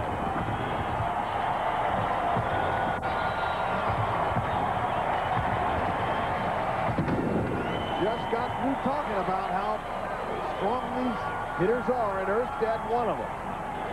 He's yelling some encouragement, trying to fire these guys up, get a little momentum going. He's an intense ball player, Steve. He's sprinting around those bases. Look at that pitch. Right over the plate. Curveball. Erstad just got it enough to get up over that high wall. He's an igniter. He's a catalyst type player. And that's the first time in his career he has gone back to back to back three straight games with home runs. And he now has six this year. Here's Adam Kennedy. And Kennedy takes high ball one. So the lead has been cut in half. Texas with a home run by Rodriguez and a base hit by Luis Alicea. Now a home run by Erstad has made it 2-1. Kennedy with a ground ball. David Segui will touch the bag. The inning is over, but the Angels get one on Darren Erstad's sixth home run this year. He now has a couple of hits and has the American League batting race over David Segui to himself. Scioscia just made a pitching change. He brings in Hasegawa. He doesn't have many guys left already. Two pitchers have left because of injuries. Mercker started through 30 pitches, then lifted himself with an injury we think is to his neck. Eric Weaver just limped off the field with trainer Ned Bergert, but there were smiles in the dugout which tell you that maybe there was no injury. Maybe they just wanted to get Hasegawa out there with enough time to warm up, and he's ready. Stranger things have happened, Steve, but seeing all the smiles, you know, I mean, look at Hasegawa, though. He's going to come in here, hits 32 to innings pitched, Steve. Ooh, that is a big question mark there because Hasegawa in the last few years has been a pinpoint accurate pitcher. He, has got a fastball, slider, split finger, and a shuto. That's what the Japanese call a running fastball. Well, Hasegawa, you're right, what quality pitcher coming to the organization in 1997 from Orix. Works over in the Japanese leagues where he was one of their top pitchers for years. But with Anaheim, a 3.57 career earned run average. And really, he was a, under a hit per inning in his career until this season. Here is Rafael Palmeiro. He started Rafi out with a split finger that went away, a very nice pitch. And then he comes inside on him. You have to really be careful when you're pitching to Palmeiro. Now he's going away with the fastball as Molina calls it away.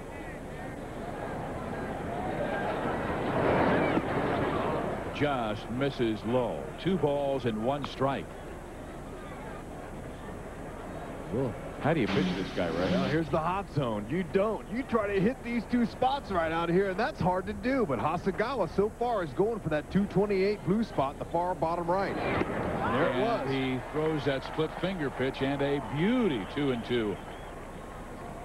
Right on that spot. That's not easy to do. Hasegawa knows You get a hitter out like Palmeiro, beautiful split finger. You've got to hit your spots. He reached for that split finger again. Mo Vaughn has it. Hasegawa touches the bag, and there's the first out. Hey, let's go back to the Darren Erstad home run. It was a curveball, and he stayed on it so well. Oh, let's check it out. You could see, Steve, that ball was right in the middle of the plate, but what I like was his head position. Look at his eyes looking right down on that pitch, and he got the back underside and sent a souvenir up in the stands. Number six this year and a pair of hits for Erstad, and that is now 59 this season for the guy who has more hits than anybody in the major leagues. Kenny Rogers has been sharp, hung that curveball, but really it broke well and was down in the strike zone. Erstad just bent his knees, went down and got it. Now David Segui, and there's a strike. Was that the Shuto that ran away from Segui? Yes, and, and it's very effective against right-handed batters. It'll start on the middle part of the plate and then run in off the plate. He uses it away with left-handers as well. Segui takes low. David now 33 years old. He was born in Kansas City where his pop Diego was a pitcher for the Kansas City A's and later became the first pitcher to throw a game in Mariners history. Foul back. Matter of fact, Diego Segui, his father, threw the first pitch in Seattle Pilot history and Seattle Mariner history. He was on both those ball clubs. David spent some time with the Seattle Mariners the last few seasons. Had some good years there. Yes, and before that, the Montreal Expos. Last year hit 298 with Seattle and Toronto. 14 home runs, 52 RBIs. But he broke a bone in his right hand, taking a line drive off of his glove. That's low. It's just the second week of May, Steve, and some of these players are already having injury problems. They're already having muscle problems here and, and there. And, and I saw Segui getting a little ice on his leg. And I said, man, does it ever stop? He says, man, that, that's what being a major league player is all about. Enduring the tough times and the painful times. Pitch misses outside. Three and two. Not by much. Mike Scioscia wants to know where that last pitch was. Home plate umpire Jerry Meals says it was outside by a few inches. Pitch tracks will show you if it was correct. Pitch tracks by QuesTec.com. Now Hasegawa with a 3-2 to David Segui. Will he go fastball? No. He went that split finger again. He did not give in to David Segui, the hottest hitter right now in the American League. Well, you got to be careful. You can't just groove a fastball. You'll be having some more neck problems like Mercker did by watching that ball snap over the fence. You've got to really be careful. Keep the ball down and away. That's where Molina's setting up. And he got him to chase the split again. So Hasegawa with the strikeout of David Segui, the second out of the sixth. Pitch by pitch. We'll see how he did it. Look at Bengie Molina setting up away. Just hit the target nicely. Down, low, good pitching, outside corner. They're not coming in on him at all. This is good pitching here. Another, split finger. And then a split finger down and got him. Just one out of the zone. Made him chase. That's what they call going after a bad pitch. Wow. His son has a similar haircut, too. We saw him last year in Seattle. He's colorful. Now Ruben Mateo, the center fielder who has a 14-game hit streak on the line. Ruben Mateo just 21 in the Dominican Republic. Last year at Tulsa hit 336. At Texas 238. And that is barely foul. Well, these two teams, you're talking about injuries, the most banged up teams in the American League West. Yes, Seattle has lost Fred Garcia and Jamie Moyer, but Texas has lost Justin Thompson for the year, Rusty Greer with an ankle hamstring, Frank Catalanotto, Gabe Kapler. The Angels have lost their shortstop Gary DiSarcina and pitchers Tim Belcher, Ken Hill, Jason Dickson, Kent Mercker tonight. Ball jumps away from Bengie Molina, and the count goes Hasegawa's way one and two. The Angels just sent down Ramon Ortiz, their number one prospect in the organization, called up Mike Fyhrie. Also called up Jarrod Washburn. So they've got pitches going back and forth from the minor leagues to the DL to rehab. It's been a roller coaster ride. Yes, well, Catalanotto, he's going out on a rehab assignment for the Rangers, and Justin Thompson having major surgery. He's out. And it'll be about 10 more games before Rusty Greer is back playing. Good pitch by Hasegawa. Strikes out two in the sixth inning. The Angels will try and tie it or take the lead in the bottom of the sixth with Mo Vaughn coming to the plate.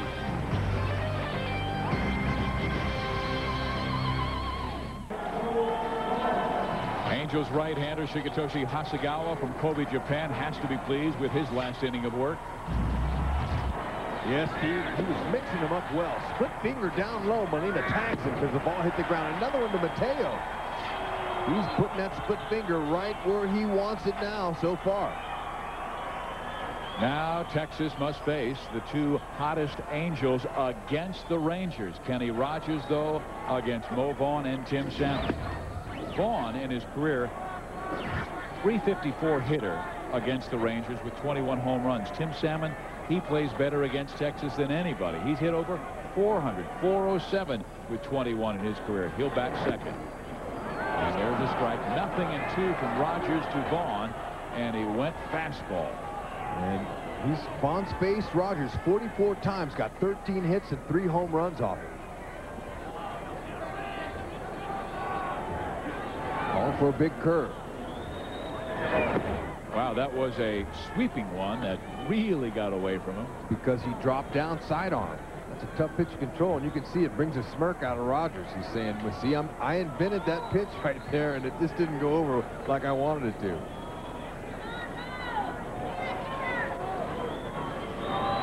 Now the one-two. Again, he goes sidearm, trying to tease Vaughn to chase that pitch low and away, and the count is even two and two. And that that pitch, that pitch coming at you like that as a left-handed batter, it, first tendency you want to do is to pull that shoulder and to come off that ball. You got to stay in and go to left field. They stay away. It's now three and two. He had an 0-2 count. What is interesting, he's going for the strikeout because the defense is playing him to pull. I mean, the shortstop is over at second base. The third baseman is almost on top of second base. Look how many infielders on the right side. I mean, there is a gap 80 feet from the third base line to the third baseman. Wow, you know, he could just tap one by that third base bag and might get three bags out of it. Well, he waves at the off speed and strikes out.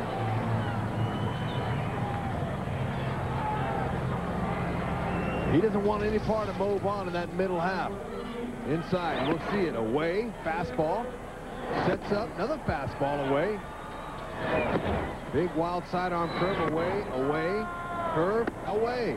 Thought that should have went, but that was just, he couldn't get it. Look at pitch tracks. Wow. They didn't want any part of Mo Vaughn on the middle part of the plate because that's Mo's strength. Why are they going to do that? They're trying to pitch it where they're not going to hit it. And pitch tracks from QuesTec.com. Well, that takes us to Tim Salmon, but it's interesting. Not one pitch was in the strike zone, according to QuesTec.com, and everybody was playing him to pull. So it's almost like they're asking Mo Vaughn to just flip one into left field. That will take away what they don't want him to do is hit the ball into the seats. Tim Salmon spaced Rogers 51 times. Got 13 hits and four homers. That big bender that just barely misses away. Two and one. So when you've faced a guy 40, 50 times, you got a pretty good idea about it. Salmon's 0 for 2 tonight. On the season, he's got eight home runs, and he got up to a very slow start. He knows about Rogers.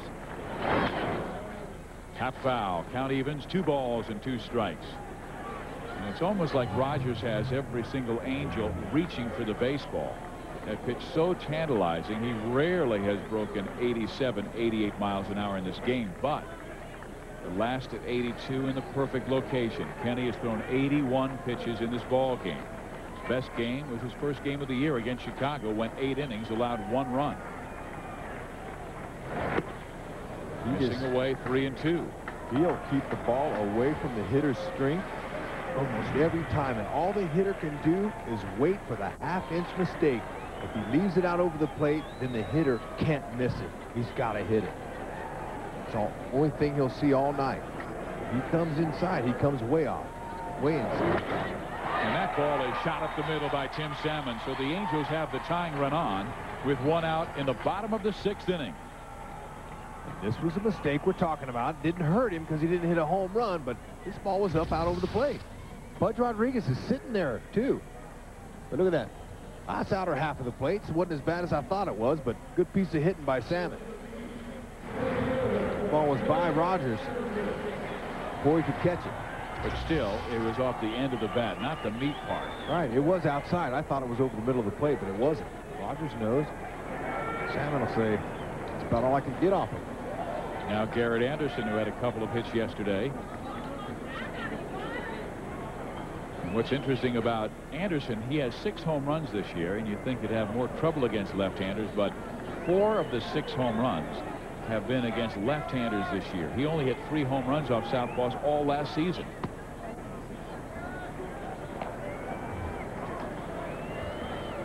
guys are on base, different story. That's what you want. You want to have a nice batting average with Minnan on base. They'll call you a, a clutch player. And Anderson he just re-upped with the Angels for four more years. They know what kind of player he is. He hits 300 every year. And he takes the curveball and twists it down the right field side. Foul and out of play. Rogers is throwing Anderson mostly big curveballs. I mean, that last one, 71 miles an hour. I mean, you got to really, really tell yourself to wait if you're a hitter. And that's hard to do because you want to hit. He'll throw fastballs in and away. You can see Rodriguez setting up away. Anderson hits it to Segui. They've got a chance for two. There is one and a double play.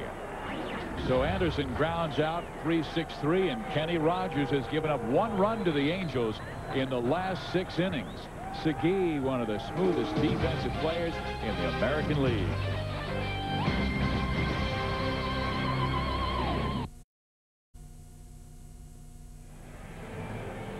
Two to one, Texas has the lead over the Anaheim Angels as we head to the seventh inning.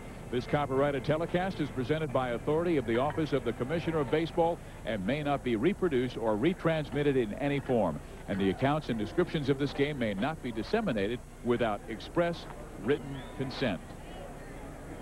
He's got his rally cap on, pulled it backwards. Dad's watching the game, but he's saying, how about another cotton candy? Hmm. Well, you know who he's for. He's got the jacket. He's got the cap. We just got a report on Kent Mercker. He had severe migraine headaches. Wow. There is a line drive. Broken bat base hit to center field by Royce Clayton. Well, that might give Mike Scioscia some resolve just in the fact that the injury was not a muscle pull. Watch it inside. He sawed him off. That's what they call you. And that the head of that bat went in the stands. Be careful. That's a sharp object. It fell for a base hit. And now the Usher's trying to take it. And let him have it. That's a broken bat. Oh, you know what? They probably think that it's a little too sharp to have in the stands. Now watch this here. The head of the bat goes up in the stands. Watch out. That is a lethal weapon. But look at he saved somebody's life. Oh, he, he snagged it. Here's Mike Lamb. And Lamb takes a strike. So what do you say when a bat breaks and drops for a base hit in baseball? That bat died a hero, Steve. Or a Purple Heart. I thought you were going to have me do my my uh, chainsaw imitation. Hold on. A 2-1 ball game. Texas with the lead over the Anaheim Angels. We've seen good defense and good relief pitching by the Angels. Outstanding starting pitching. And now a fly ball sent to right field by Lamb. Salmon will make the catch for the first out.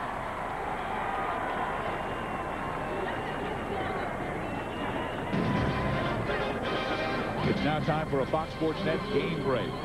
Seattle and Oakland. 5-4. Seattle has a the advantage in the bottom of the sixth inning after a three-run home run by Jay Buhner. Jason Giambi answers with a three-run shot to center off Arthur Lee Rhodes, a tough left-hander. His 15th home run that leads everyone in the major leagues. Oakland has a 7-5 lead. Giambi three for three with a single, triple, and a home run. Boy, Oakland is charging. They won their last two games over the Anaheim Angels, and they have a record at 500 at 17 and 17 now. This division looks like it's up for grabs. Now, Seattle does have two starting pitchers injured, Freddie Garcia and Jamie Moyer. They come back, and Moyer could be coming back shortly. That will help our Garcia. Lou Piniella told us last week could be gone another three, four weeks. Pitching will end up being the difference. It always is. Because good pitching outdoes good hitting. That's where the Angels need their young pitchers to step up. They'll be sending young players like Jarrod Washburn and Jason Dickson this weekend. Texas does have more veterans. I mean, they've got Kenny Rogers, Rick Helling, Darren Oliver, Mark Clark, Esteban Loaiza. Last year, Johnny Oates, when they won the West, had Helling with Aaron Sele, who won 18 games, and Mike Morgan and John Burkett, Clark and Loaiza. But Helling Boy, he was just brilliant in his last game and his second in the American League run average race. Well, Hasegawa gets the strike against Jason McDonald and cuts him down. The third strikeout for Hasegawa. Hasegawa has been very effective with his fastball, using as a setup pitch to the split finger. But look at this fastball. Just froze him on the outside corner. See it again. Molina holds it there. They call that framing it up nice. So Shigetoshi Hasegawa is working the plate. Split finger. He has it working nicely. And there's that running fastball that misses away. One ball and no. Here's Luis Alicea, the one guy that the Angels have not been able to get out in this game. Three for three, including an RBI single against Eric Weaver to give Texas a 2-0 lead run a big one now with a 2-1 score. Fouled off. Luis hits the ball where it's pitched. Hasegawa's going to have to figure a way to keep him from getting that fourth knock of the night. Alicea was with the Angels in 1997, hit 253. He's a veteran now, 34 years old, in his 10th big league season. Listen, we were teammates with the St. Louis Cardinals together couple of second basemen battling for the same spot. Well, he, he, he won that. He ran me out of town. You're still a fan favorite in St. Louis, though. Joe McEwing, though, did take some of your accolades last year. Super Joe. He's with the Mets now. I think he's in AAA. Hasegawa with the 2-1 pitch to Luis Alicea, and it is chopped to the second baseman, Adam Kennedy. Nice big hop for him. Hasegawa with two shutout innings. We head to the bottom of the seventh inning. 2-1 Texas. Let's take a look at what's coming your way tonight on the National Sports Report following our game. For that, we take you to the Fox Network Center. Here in Southern California, the weather is always nice. It's one of those casual come as you are. It doesn't matter whether you're sitting in the Diamond Club or you're just being carried by dad. Short sleeves out, even though the temperature at game time is 66, it has dropped to 62 degrees right now, but she's enjoying the game, and we're in the bottom of the seventh inning. Troy Glaus, Edgard Clemente, and Benji Molina will face Kenny Rogers. Yum, yum, yum. Mm. About ready for bedtime. Look at those long eyes. Red hair, though. Believe that. Strike one from Kenny Rogers. That was Kenny's 87th pitch. He's thrown 57 for strikes, 30 out of the zone. And he's thrown first pitch strikes now to 13 of the 24 batters that he has faced. Troy Glaus likes that ball middle in. So they're setting up a way.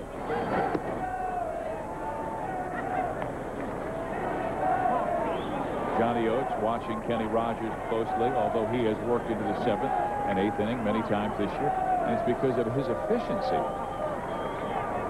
He's usually around 80 pitches right now. Yes, he is. Glaus hits it high in the air, deep to left. Did he make a mistake?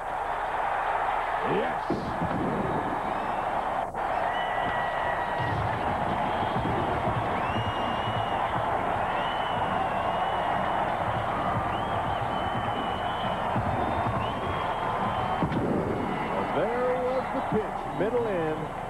He loves so well, and he's a big guy. He knows what to do with that. Rogers comes there. Ross, big guy with long arms, gets his arms extended. Chad Curtis is thinking, I'm going to bring this one back. Whoa. Nice effort. Rogers says, give me another ball. And now Edgard Clemente, and this time Chad Curtis with a beautiful diving catch. So the Angels with solo home runs by Erstad and Glaus, and Glaus's ninth ties Mo Vaughn for the team lead. Well, it's a sinking liner, toughest play for an outfielder to make, and Chad Curtis surrounds it nicely. And does that worry Johnny Oates? The last two batters have hit Kenny Rogers hard, a solo home run by Glaus, and now a line smash by Clemente. Well, it's the game of momentum, Steve. And players will feed off that. That curveball down low, almost got it in the big toe. But just like all sports, baseball is momentum. You see a home run to lead off the game, and the next pitch, Edgard Clemente hit one right on the nose. He's out. Curveball fouled off. Count goes to one ball and one strike. Glaus ties it up with his ninth home run this year, the former All-American at UCLA. Played on the Olympic team. One of their power hitters. Glaus is saying, I, I didn't get all that one. I was, thought Curtis might have caught Lena fouls it back. That curveball looks so appetizing for a hitter. It's so slow, it almost looks like a beach ball coming up there, Steve.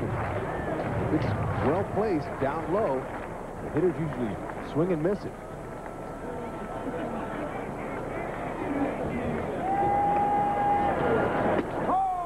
Snaps a fastball on the inside corner.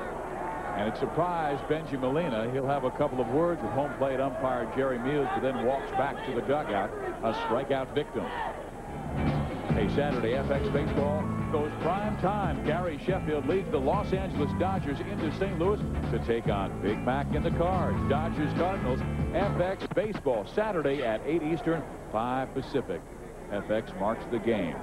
How about Mark McGwire? in his career, Major League Baseball's all-time leader, even more impressive this season. I mean, one home run every six at-bats. This is when you thought he might fall off a little. He's increasing. Benji Gil chases a pitch that may have been low in the strike zone, so he's behind the count, nothing in two. Well, that's that big curveball I was telling you about. Looks so good to the hitter. When it's down low like that, you miss it. Now, Pudge is trying to get Kenny Rogers to throw a certain pitch. Now they're having a little, yeah, believe it. This is what I want. Come inside with it way inside, but look where he stands on that rubber. Is there a reason that he stands on the far third base side of the rubber, Rex? Yes, there is. Uh, Steve, most pitchers will try to use one side of the rubber or the other, and Rogers, in this case, is going to help him get to that inside spot.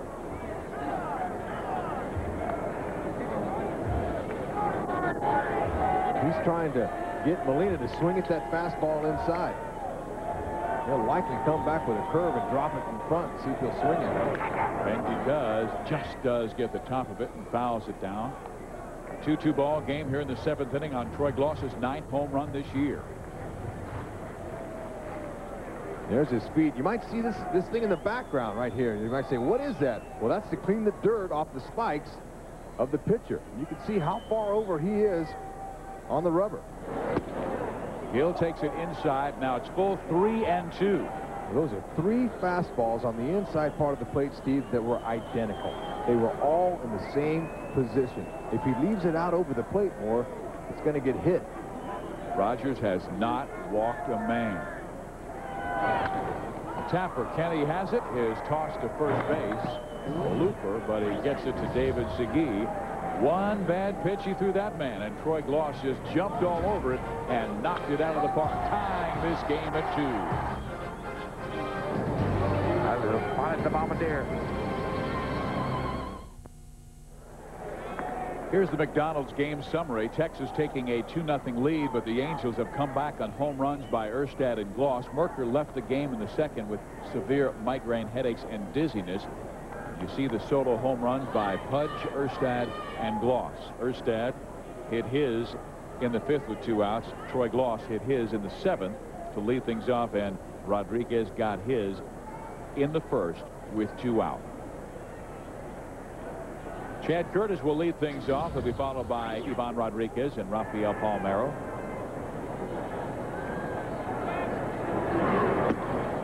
There's a strike on the outside corner. Hasegawa, since he's been in, Steve, has done a very nice job.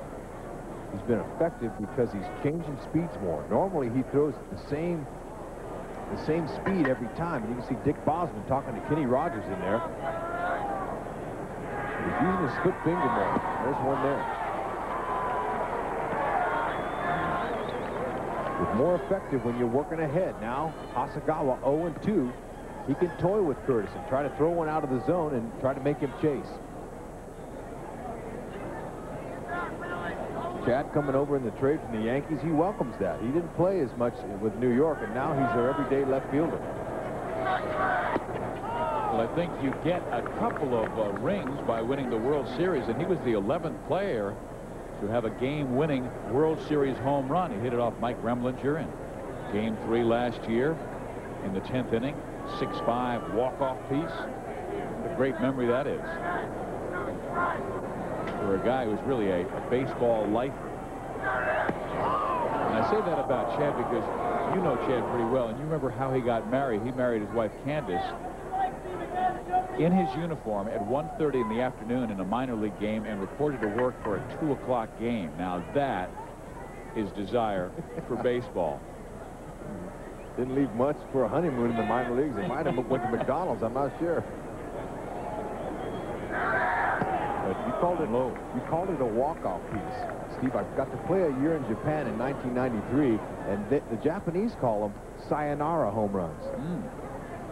So Hasegawa, he, he's trying to keep that ball away from Curtis, who does have some power. He's got four home runs this year. Three and two count. He doesn't want to put anybody on because walks usually end up coming back to haunt you. Especially a leadoff walk. Pudge Rodriguez and Palmeiro to follow. Popped him up. Center field, Garrett Anderson or Benji Gil, and Garrett calls off Benji and Kennedy and makes the catch for the first down. Well, Shigetoshi Hasegawa has certainly done a nice job since coming on, and Al Levine did an equal job. One hit he has allowed, and it looks like the Hasegawa of old, and this is the guy who is a second favorite name to call by the Yankees' longtime broadcaster, Bob Sheppard, who is their public address announcer. He said Mickey Mantle is number one, but he loves to say the name Shigetoshi Hasegawa. well, the, the Angels are going to need good middle relief pitching if they're going to contend in this division. Right now they have three players who are starting pitchers on the disabled list. Ken Hill, who could be gone for two to three months or the entire season. Tim Belcher is going through a dead arm stage, and they hope to have Tim back by June. Jason Dickson might pitch on Sunday. That ball flipped towards right field and rather deep. Tim Salmon back near the warning track makes the catch for the second out.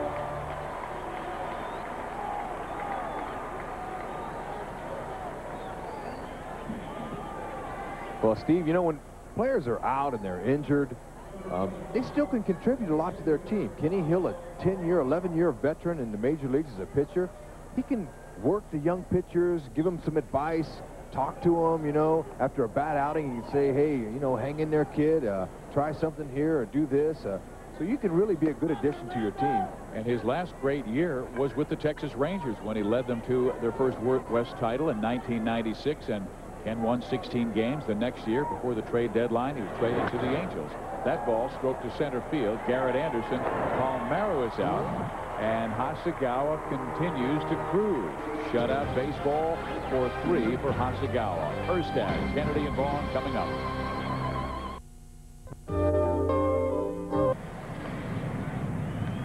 Bottom of the eighth inning, tied at two, Texas and Anaheim. Our game summary looks like this. First inning, two out, Ivan Rodriguez.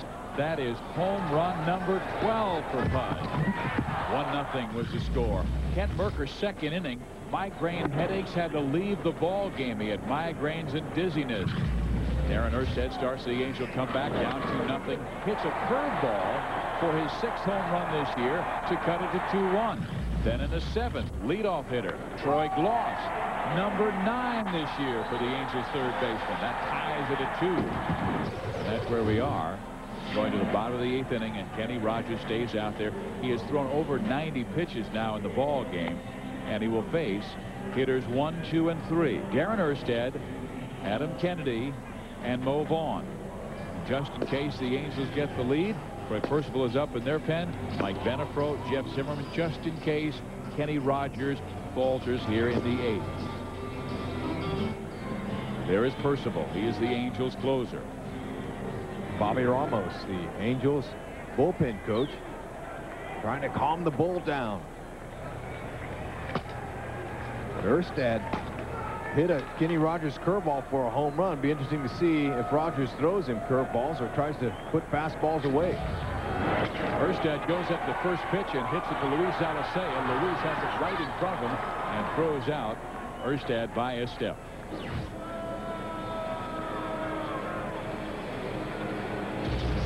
Watch how Luis Alicea keeps his hard smash in front of him. See, he has plenty of time to pick it up and throw the runner out, even though Erstad runs fast. That's what you do when a ball is just really crushed at you. You're just trying to put your body in front of it. Luis Alicea, veteran second baseman, had plenty of time to get him. Now Adam Kennedy.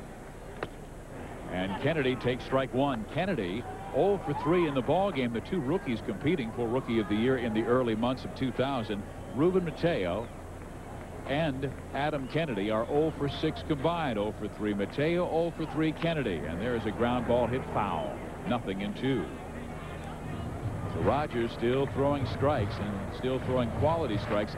He has missed, but not by much, to two pretty good hitters, Erstad and Glaus, and they have made him pay for those mistakes. They weren't balls right down the middle either. Erstad's pitch was probably the one closest to the middle of the plate. Glaus's ball was on the outside half. Kennedy now will become defensive. 0-2 behind in the count. Foul back. And what I mean by defensive, Steve, is he'll just try to fight off the pitch. Any anything close, he doesn't want to strike out. Well, he has been striking out on some high fastballs this year. But with Rogers, you always wonder how he's setting you up. Is he setting you up up and in to go soft away? This is where you just have to battle. Anything close, you're swinging. Kennedy fouls it off left side. The count will remain nothing in two. Late in the game, you're looking for base runners. And when you're behind 0-2, you're pretty much going to have to hit your way on. And look at Johnny Oates sitting there saying, well, wonder what's going to happen. He's working on his bubble.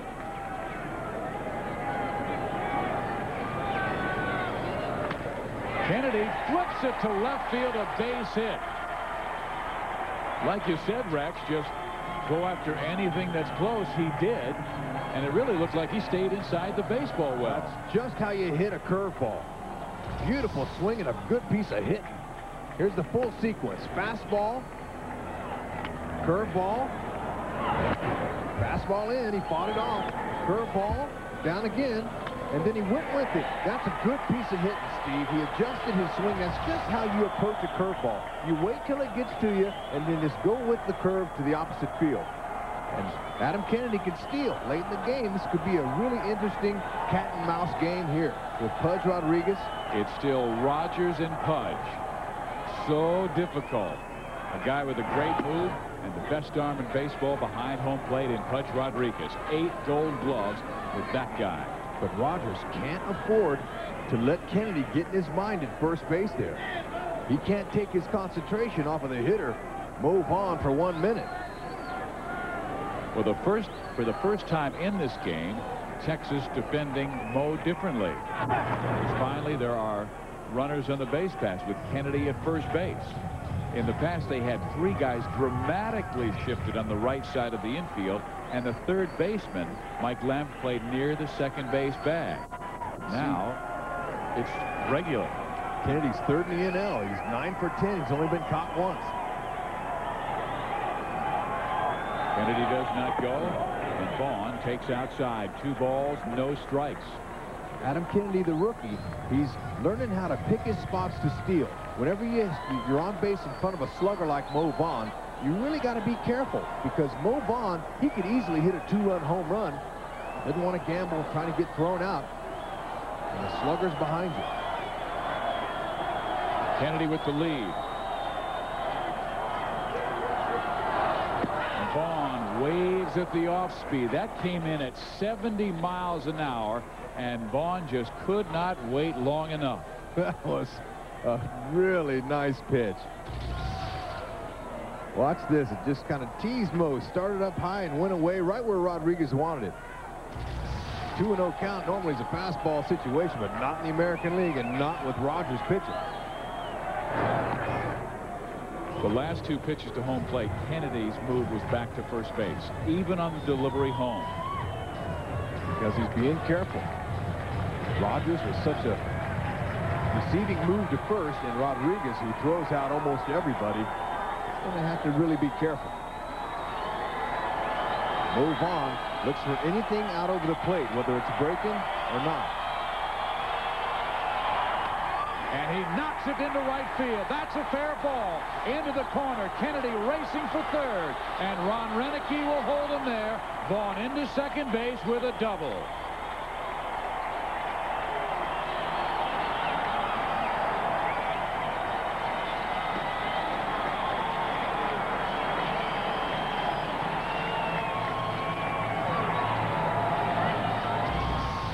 Here is Mo Vaughn getting that breaking ball out front. He hooks it down the line. With Jason McDonald playing Mo to pull out there, he was able to get on that ball quickly. And now Dick Bosman is going to come out. They're going to have a little talk with Kenny Rogers. First base open, man on second and third with one out. They're going to talk about how they're going to pitch to Tim Salmon here.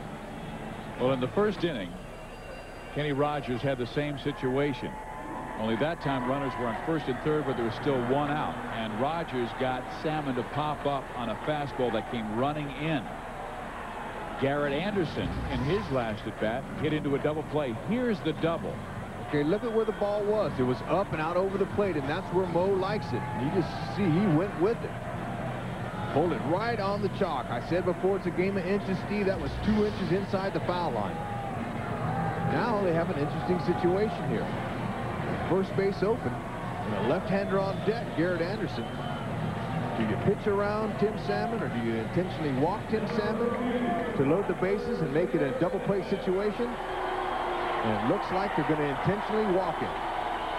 Wow, this takes you back to just memories of the National League Championship Series when the New York Mets and Kenny Rogers faced the Atlanta Braves in the last game of the playoffs and Kenny Rogers issued two intentional walks before walking Andruw Jones on a full count to force in the winning run in a 10-9 victory, giving Atlanta the National League pennant. Okay, now you're Garrett Anderson sitting on deck, and you're saying, okay, I'm going to make you pay. That's what your attitude is when you're on deck. Now Rogers, he'll try to get Anderson to hit the ball on the ground and develop a double play for himself and the team. Anderson's going to try to find a hole out there somewhere or a sacrifice fly to try to bring in Kennedy, who runs well at third base. Last time Garrett Anderson was up, he hit a 3-6-3 double play. Now, with the bases loaded, he has been strong. Almost a 350 hitter with three grand slams. You were talking earlier about the back underside. Why is that important? And talk about back underside with Kennedy at third, Vaughn at second, Salmon first. Because you want to get the ball elevated enough to, they need one run here, and you want to sacrifice fly situation. But earlier in the game, Johnny Oates talked about how Kenny Rogers will get to the situation he wants, and that's against the left-handed batter. Rogers almost hit Anderson on the first pitch, ball one. So what that pitch was was a setup pitch for the next one. He'll likely throw a big looping curveball here after he showed him the fastball in. Corners are in. Segui at first. Lamb at third. Want to stay in the middle of the field. One ball, one strike. There was the curve, okay? Now the count's even. And he'll either come probably back in with a fastball or another big curve down and out of the zone. He doesn't want to walk him, and he'll bring in the go-ahead run.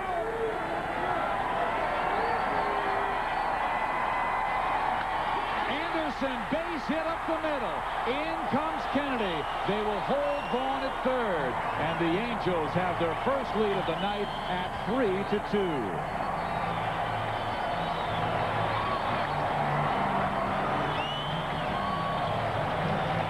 Was the fastball, but he left it out over the over the plate. And that's going to be it for him. Here comes Johnny Oates.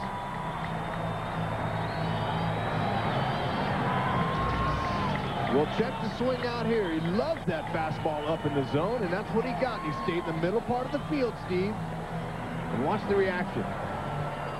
That's going to fire the Angels up and their fans as well.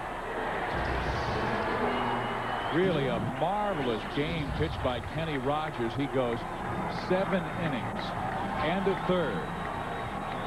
The three runs belong to him, but the three on base also belong to Kenny. 118 pitches, Steve. That was maybe one pitch too long. Johnny Oates gave him the matchup he wanted, lefty on lefty, but just might have left him in a little too long there, Steve. That's a lot of pitches. But he's done a fine job tonight, and when you get tired late in the game, sometimes you're going to leave a ball up over the plate. So Johnny Oates takes out Kenny Rogers with the bases loaded, and Troy Glaus at the plate. Glaus was the guy who crushed the Texas Rangers last year. Hit almost 350 and hit four home runs, and he hit a, his first against the Rangers back in the seventh inning to tie this game. So Jeff Zimmerman comes on, who was one of the great stories last year, only he has struggled in the year 2000. 0-4 with a six earned run average, and here is a guy who won his first nine big league games, and then Look at the home runs. seven in a row. Steve, look at the home runs there, though. He's been getting hit because the, the hitters in the league are getting to know him now. Ross going for the down, swings and misses. One ball and one strike. Well, that slider there that Glaus just missed, that's his big pitch. Fastball slider. And he'll throw an occasional changeup. Now, the Angels made a decision. They took Mo Vaughn out of the game, got pinch runner Trent Durrington in. He's at third. Salmon second. First base Anderson, who broke the 2-2 tie with a single up the middle. Glaus fouls it off. Now he's behind the count one and two. So Glaus is trying to do the same thing. The defense is set up for the double play, but he wants to try to get the back underside and let the sacrifice fly or a clean base hit. And Zimmerman wants the strikeout. That's his specialty. He has 21 this year, fourth most among American League relievers. Zimmerman, a rookie last year, 27 now. Glaus swings and misses at the fastball and strikes out.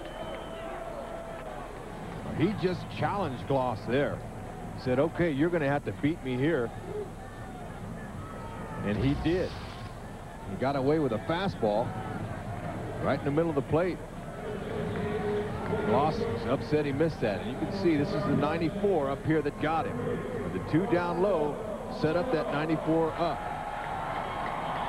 Well, the Angels will make a change. Instead of Edgard Clemente, Mike Scioscia will go with Orlando Palmeiro, who has as good an eye as any Angel hitter. He will really make a pitcher work.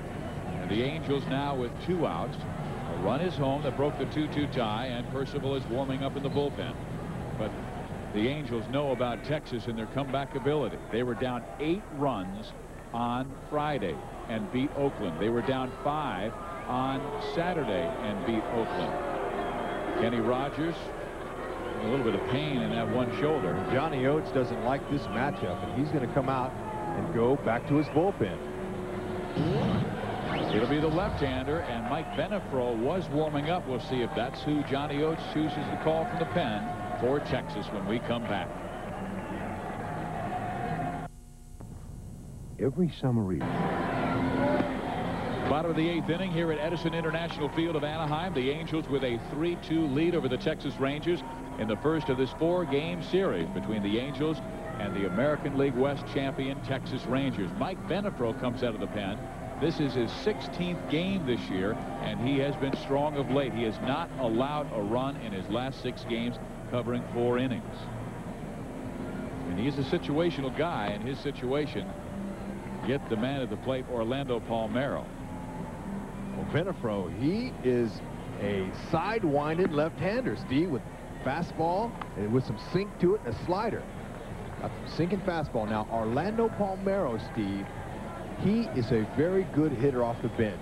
He doesn't have a lot of power, so all he's trying to do is just place the ball somewhere. Durrington is at third base. Salmon at second base.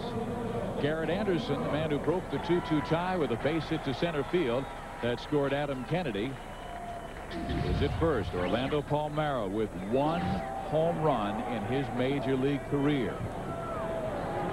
Venafro's first pitch is strike one. And the team that Palmeiro hit that home run against was the Texas Rangers last year on April 9th against John Burkett. And the home run came on Palmeiro's 415th career at bat. He sprays the ball to left field as well as he can pull it. Up the plate. Now he's behind the count, nothing in two. So Palmeiro here will choke up on the bat about an inch or so to give him better bat control. Johnny Oates, he's good at making pitching moves, and he thought that Kenny Rogers would be able to retire Garrett Anderson, but Rogers with 118 pitches thrown got a little tired, left one up. And Venafro had gotten into his delivery and my goodness, I don't know how he held onto the baseball, but he did a pirouette that took a page right out of the New York Ballet. Look at Palmeiro's hands. He went time, and he made a, he made a visual sign. Now, in the heat of the battle with the crowd noise, it's hard for the umpire to hear you say time. So he just wiggled his fingers, and the umpire knew that was time.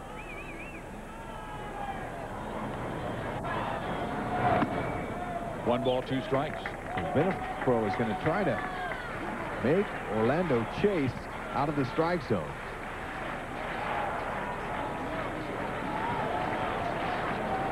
The Angels and Mike Scioscia would love to have an extra insurance run or two.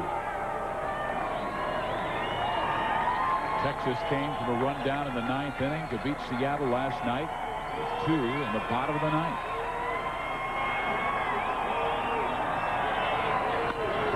Slicing one right to the third baseman Lamb and they will get the force at second base. That will bring Troy Percival out of the bullpen to try and save this game but Garrett Anderson came up with the clutch base hit to break the 2-2 tie and give Anaheim a 3-2 lead going to the ninth. Goes into his meditative state as he will try and save his 10th game this year. Troy Percival, Steve, he's becoming a pitcher. He's normally has a 95 mile an hour fastball, but what I mean by that is he's not just using that. He'll use a curveball and a changeup as well to keep the hitters off balance. He'll have a tough job trying to retire Segui. David Segui, second in the American League in batting. The executive producers of Fox Sports Net are Arthur Smith and Bill Borson. Coordinating producer for Baseball Thursday is Larry Myers. Tonight's game was produced by Jerry Weinstein and directed by Doug Freeman. Head of field operations is Andrea Jenkins. Percival's first pitch is in there, strike one. 92 miles an hour. But you were talking about Percival, and here is what Segui has done against Troy in his career. One home run. That meant it was a big one because Percival pitches in the ninth. Slice to left field. Erstad runs on. He'll make the catch for the first out of the top of the ninth inning. So Segui, who is battling Darren Erstad for the American League batting race, 0 for 3. Erstad, meantime, went 2 for 4 with a home run. But you were talking about Percival. In his last game, he pitched one inning Monday against the Oakland Athletics. Ninth save of the year in 10 chances. He didn't have control of his fastball. He went with the curve and got the save. He threw more curveballs than I've ever seen him throw. He, he normally is predominant fastball.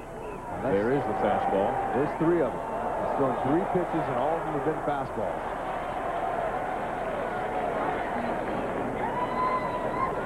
Well, last year, he had a 1.99 earned run average until August.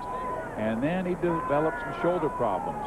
His ERA rose high in the second half. There's the curveball that misses, but that was what he could not throw last year. He said he could not get on top of the pitch.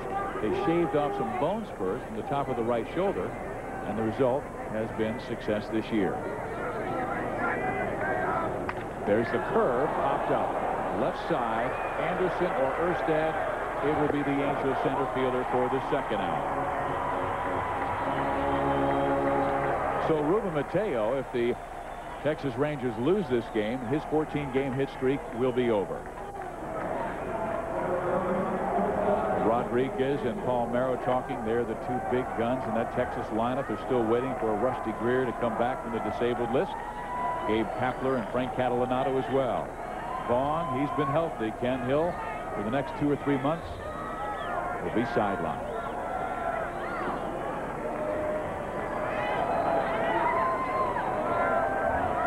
Now it is Royce Clayton who has five home runs this year. Good fastball hitter. He takes high ball one. So really all Clayton's trying to do is get on base. Either a walk or a knock. However he wants to get on. I say knock, that means base hit. But he wants to get on first. Percival has a high leg kick and he's easy to steal off of. He could get into scoring position. Curveball in there and a beauty one and one. You saw Clayton's back leg buckle. We call that jelly leg. Percy's got a good one, especially after throwing 94 fastball and then comes back with a 76 mile an hour curveball. That'll that'll really mess you up. He chops it up the middle. Benji Gil right there. His throw on the money, and the Angels win three to two. Garrett Anderson, the player of the game, breaking that 2-2 tie in the eighth inning with a single up the middle and giving the Angels a victory in the first of this four-game series against the American League West champions.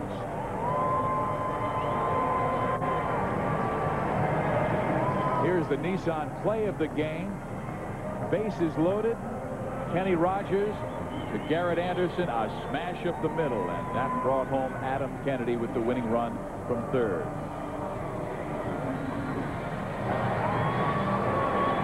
So the Angels push the record back to 18 and 18 this year. The Texas Rangers, meantime, fall to 15 and 19. We'll come back and wrap up the game, tell you about the winner, the loser, and the victory after this.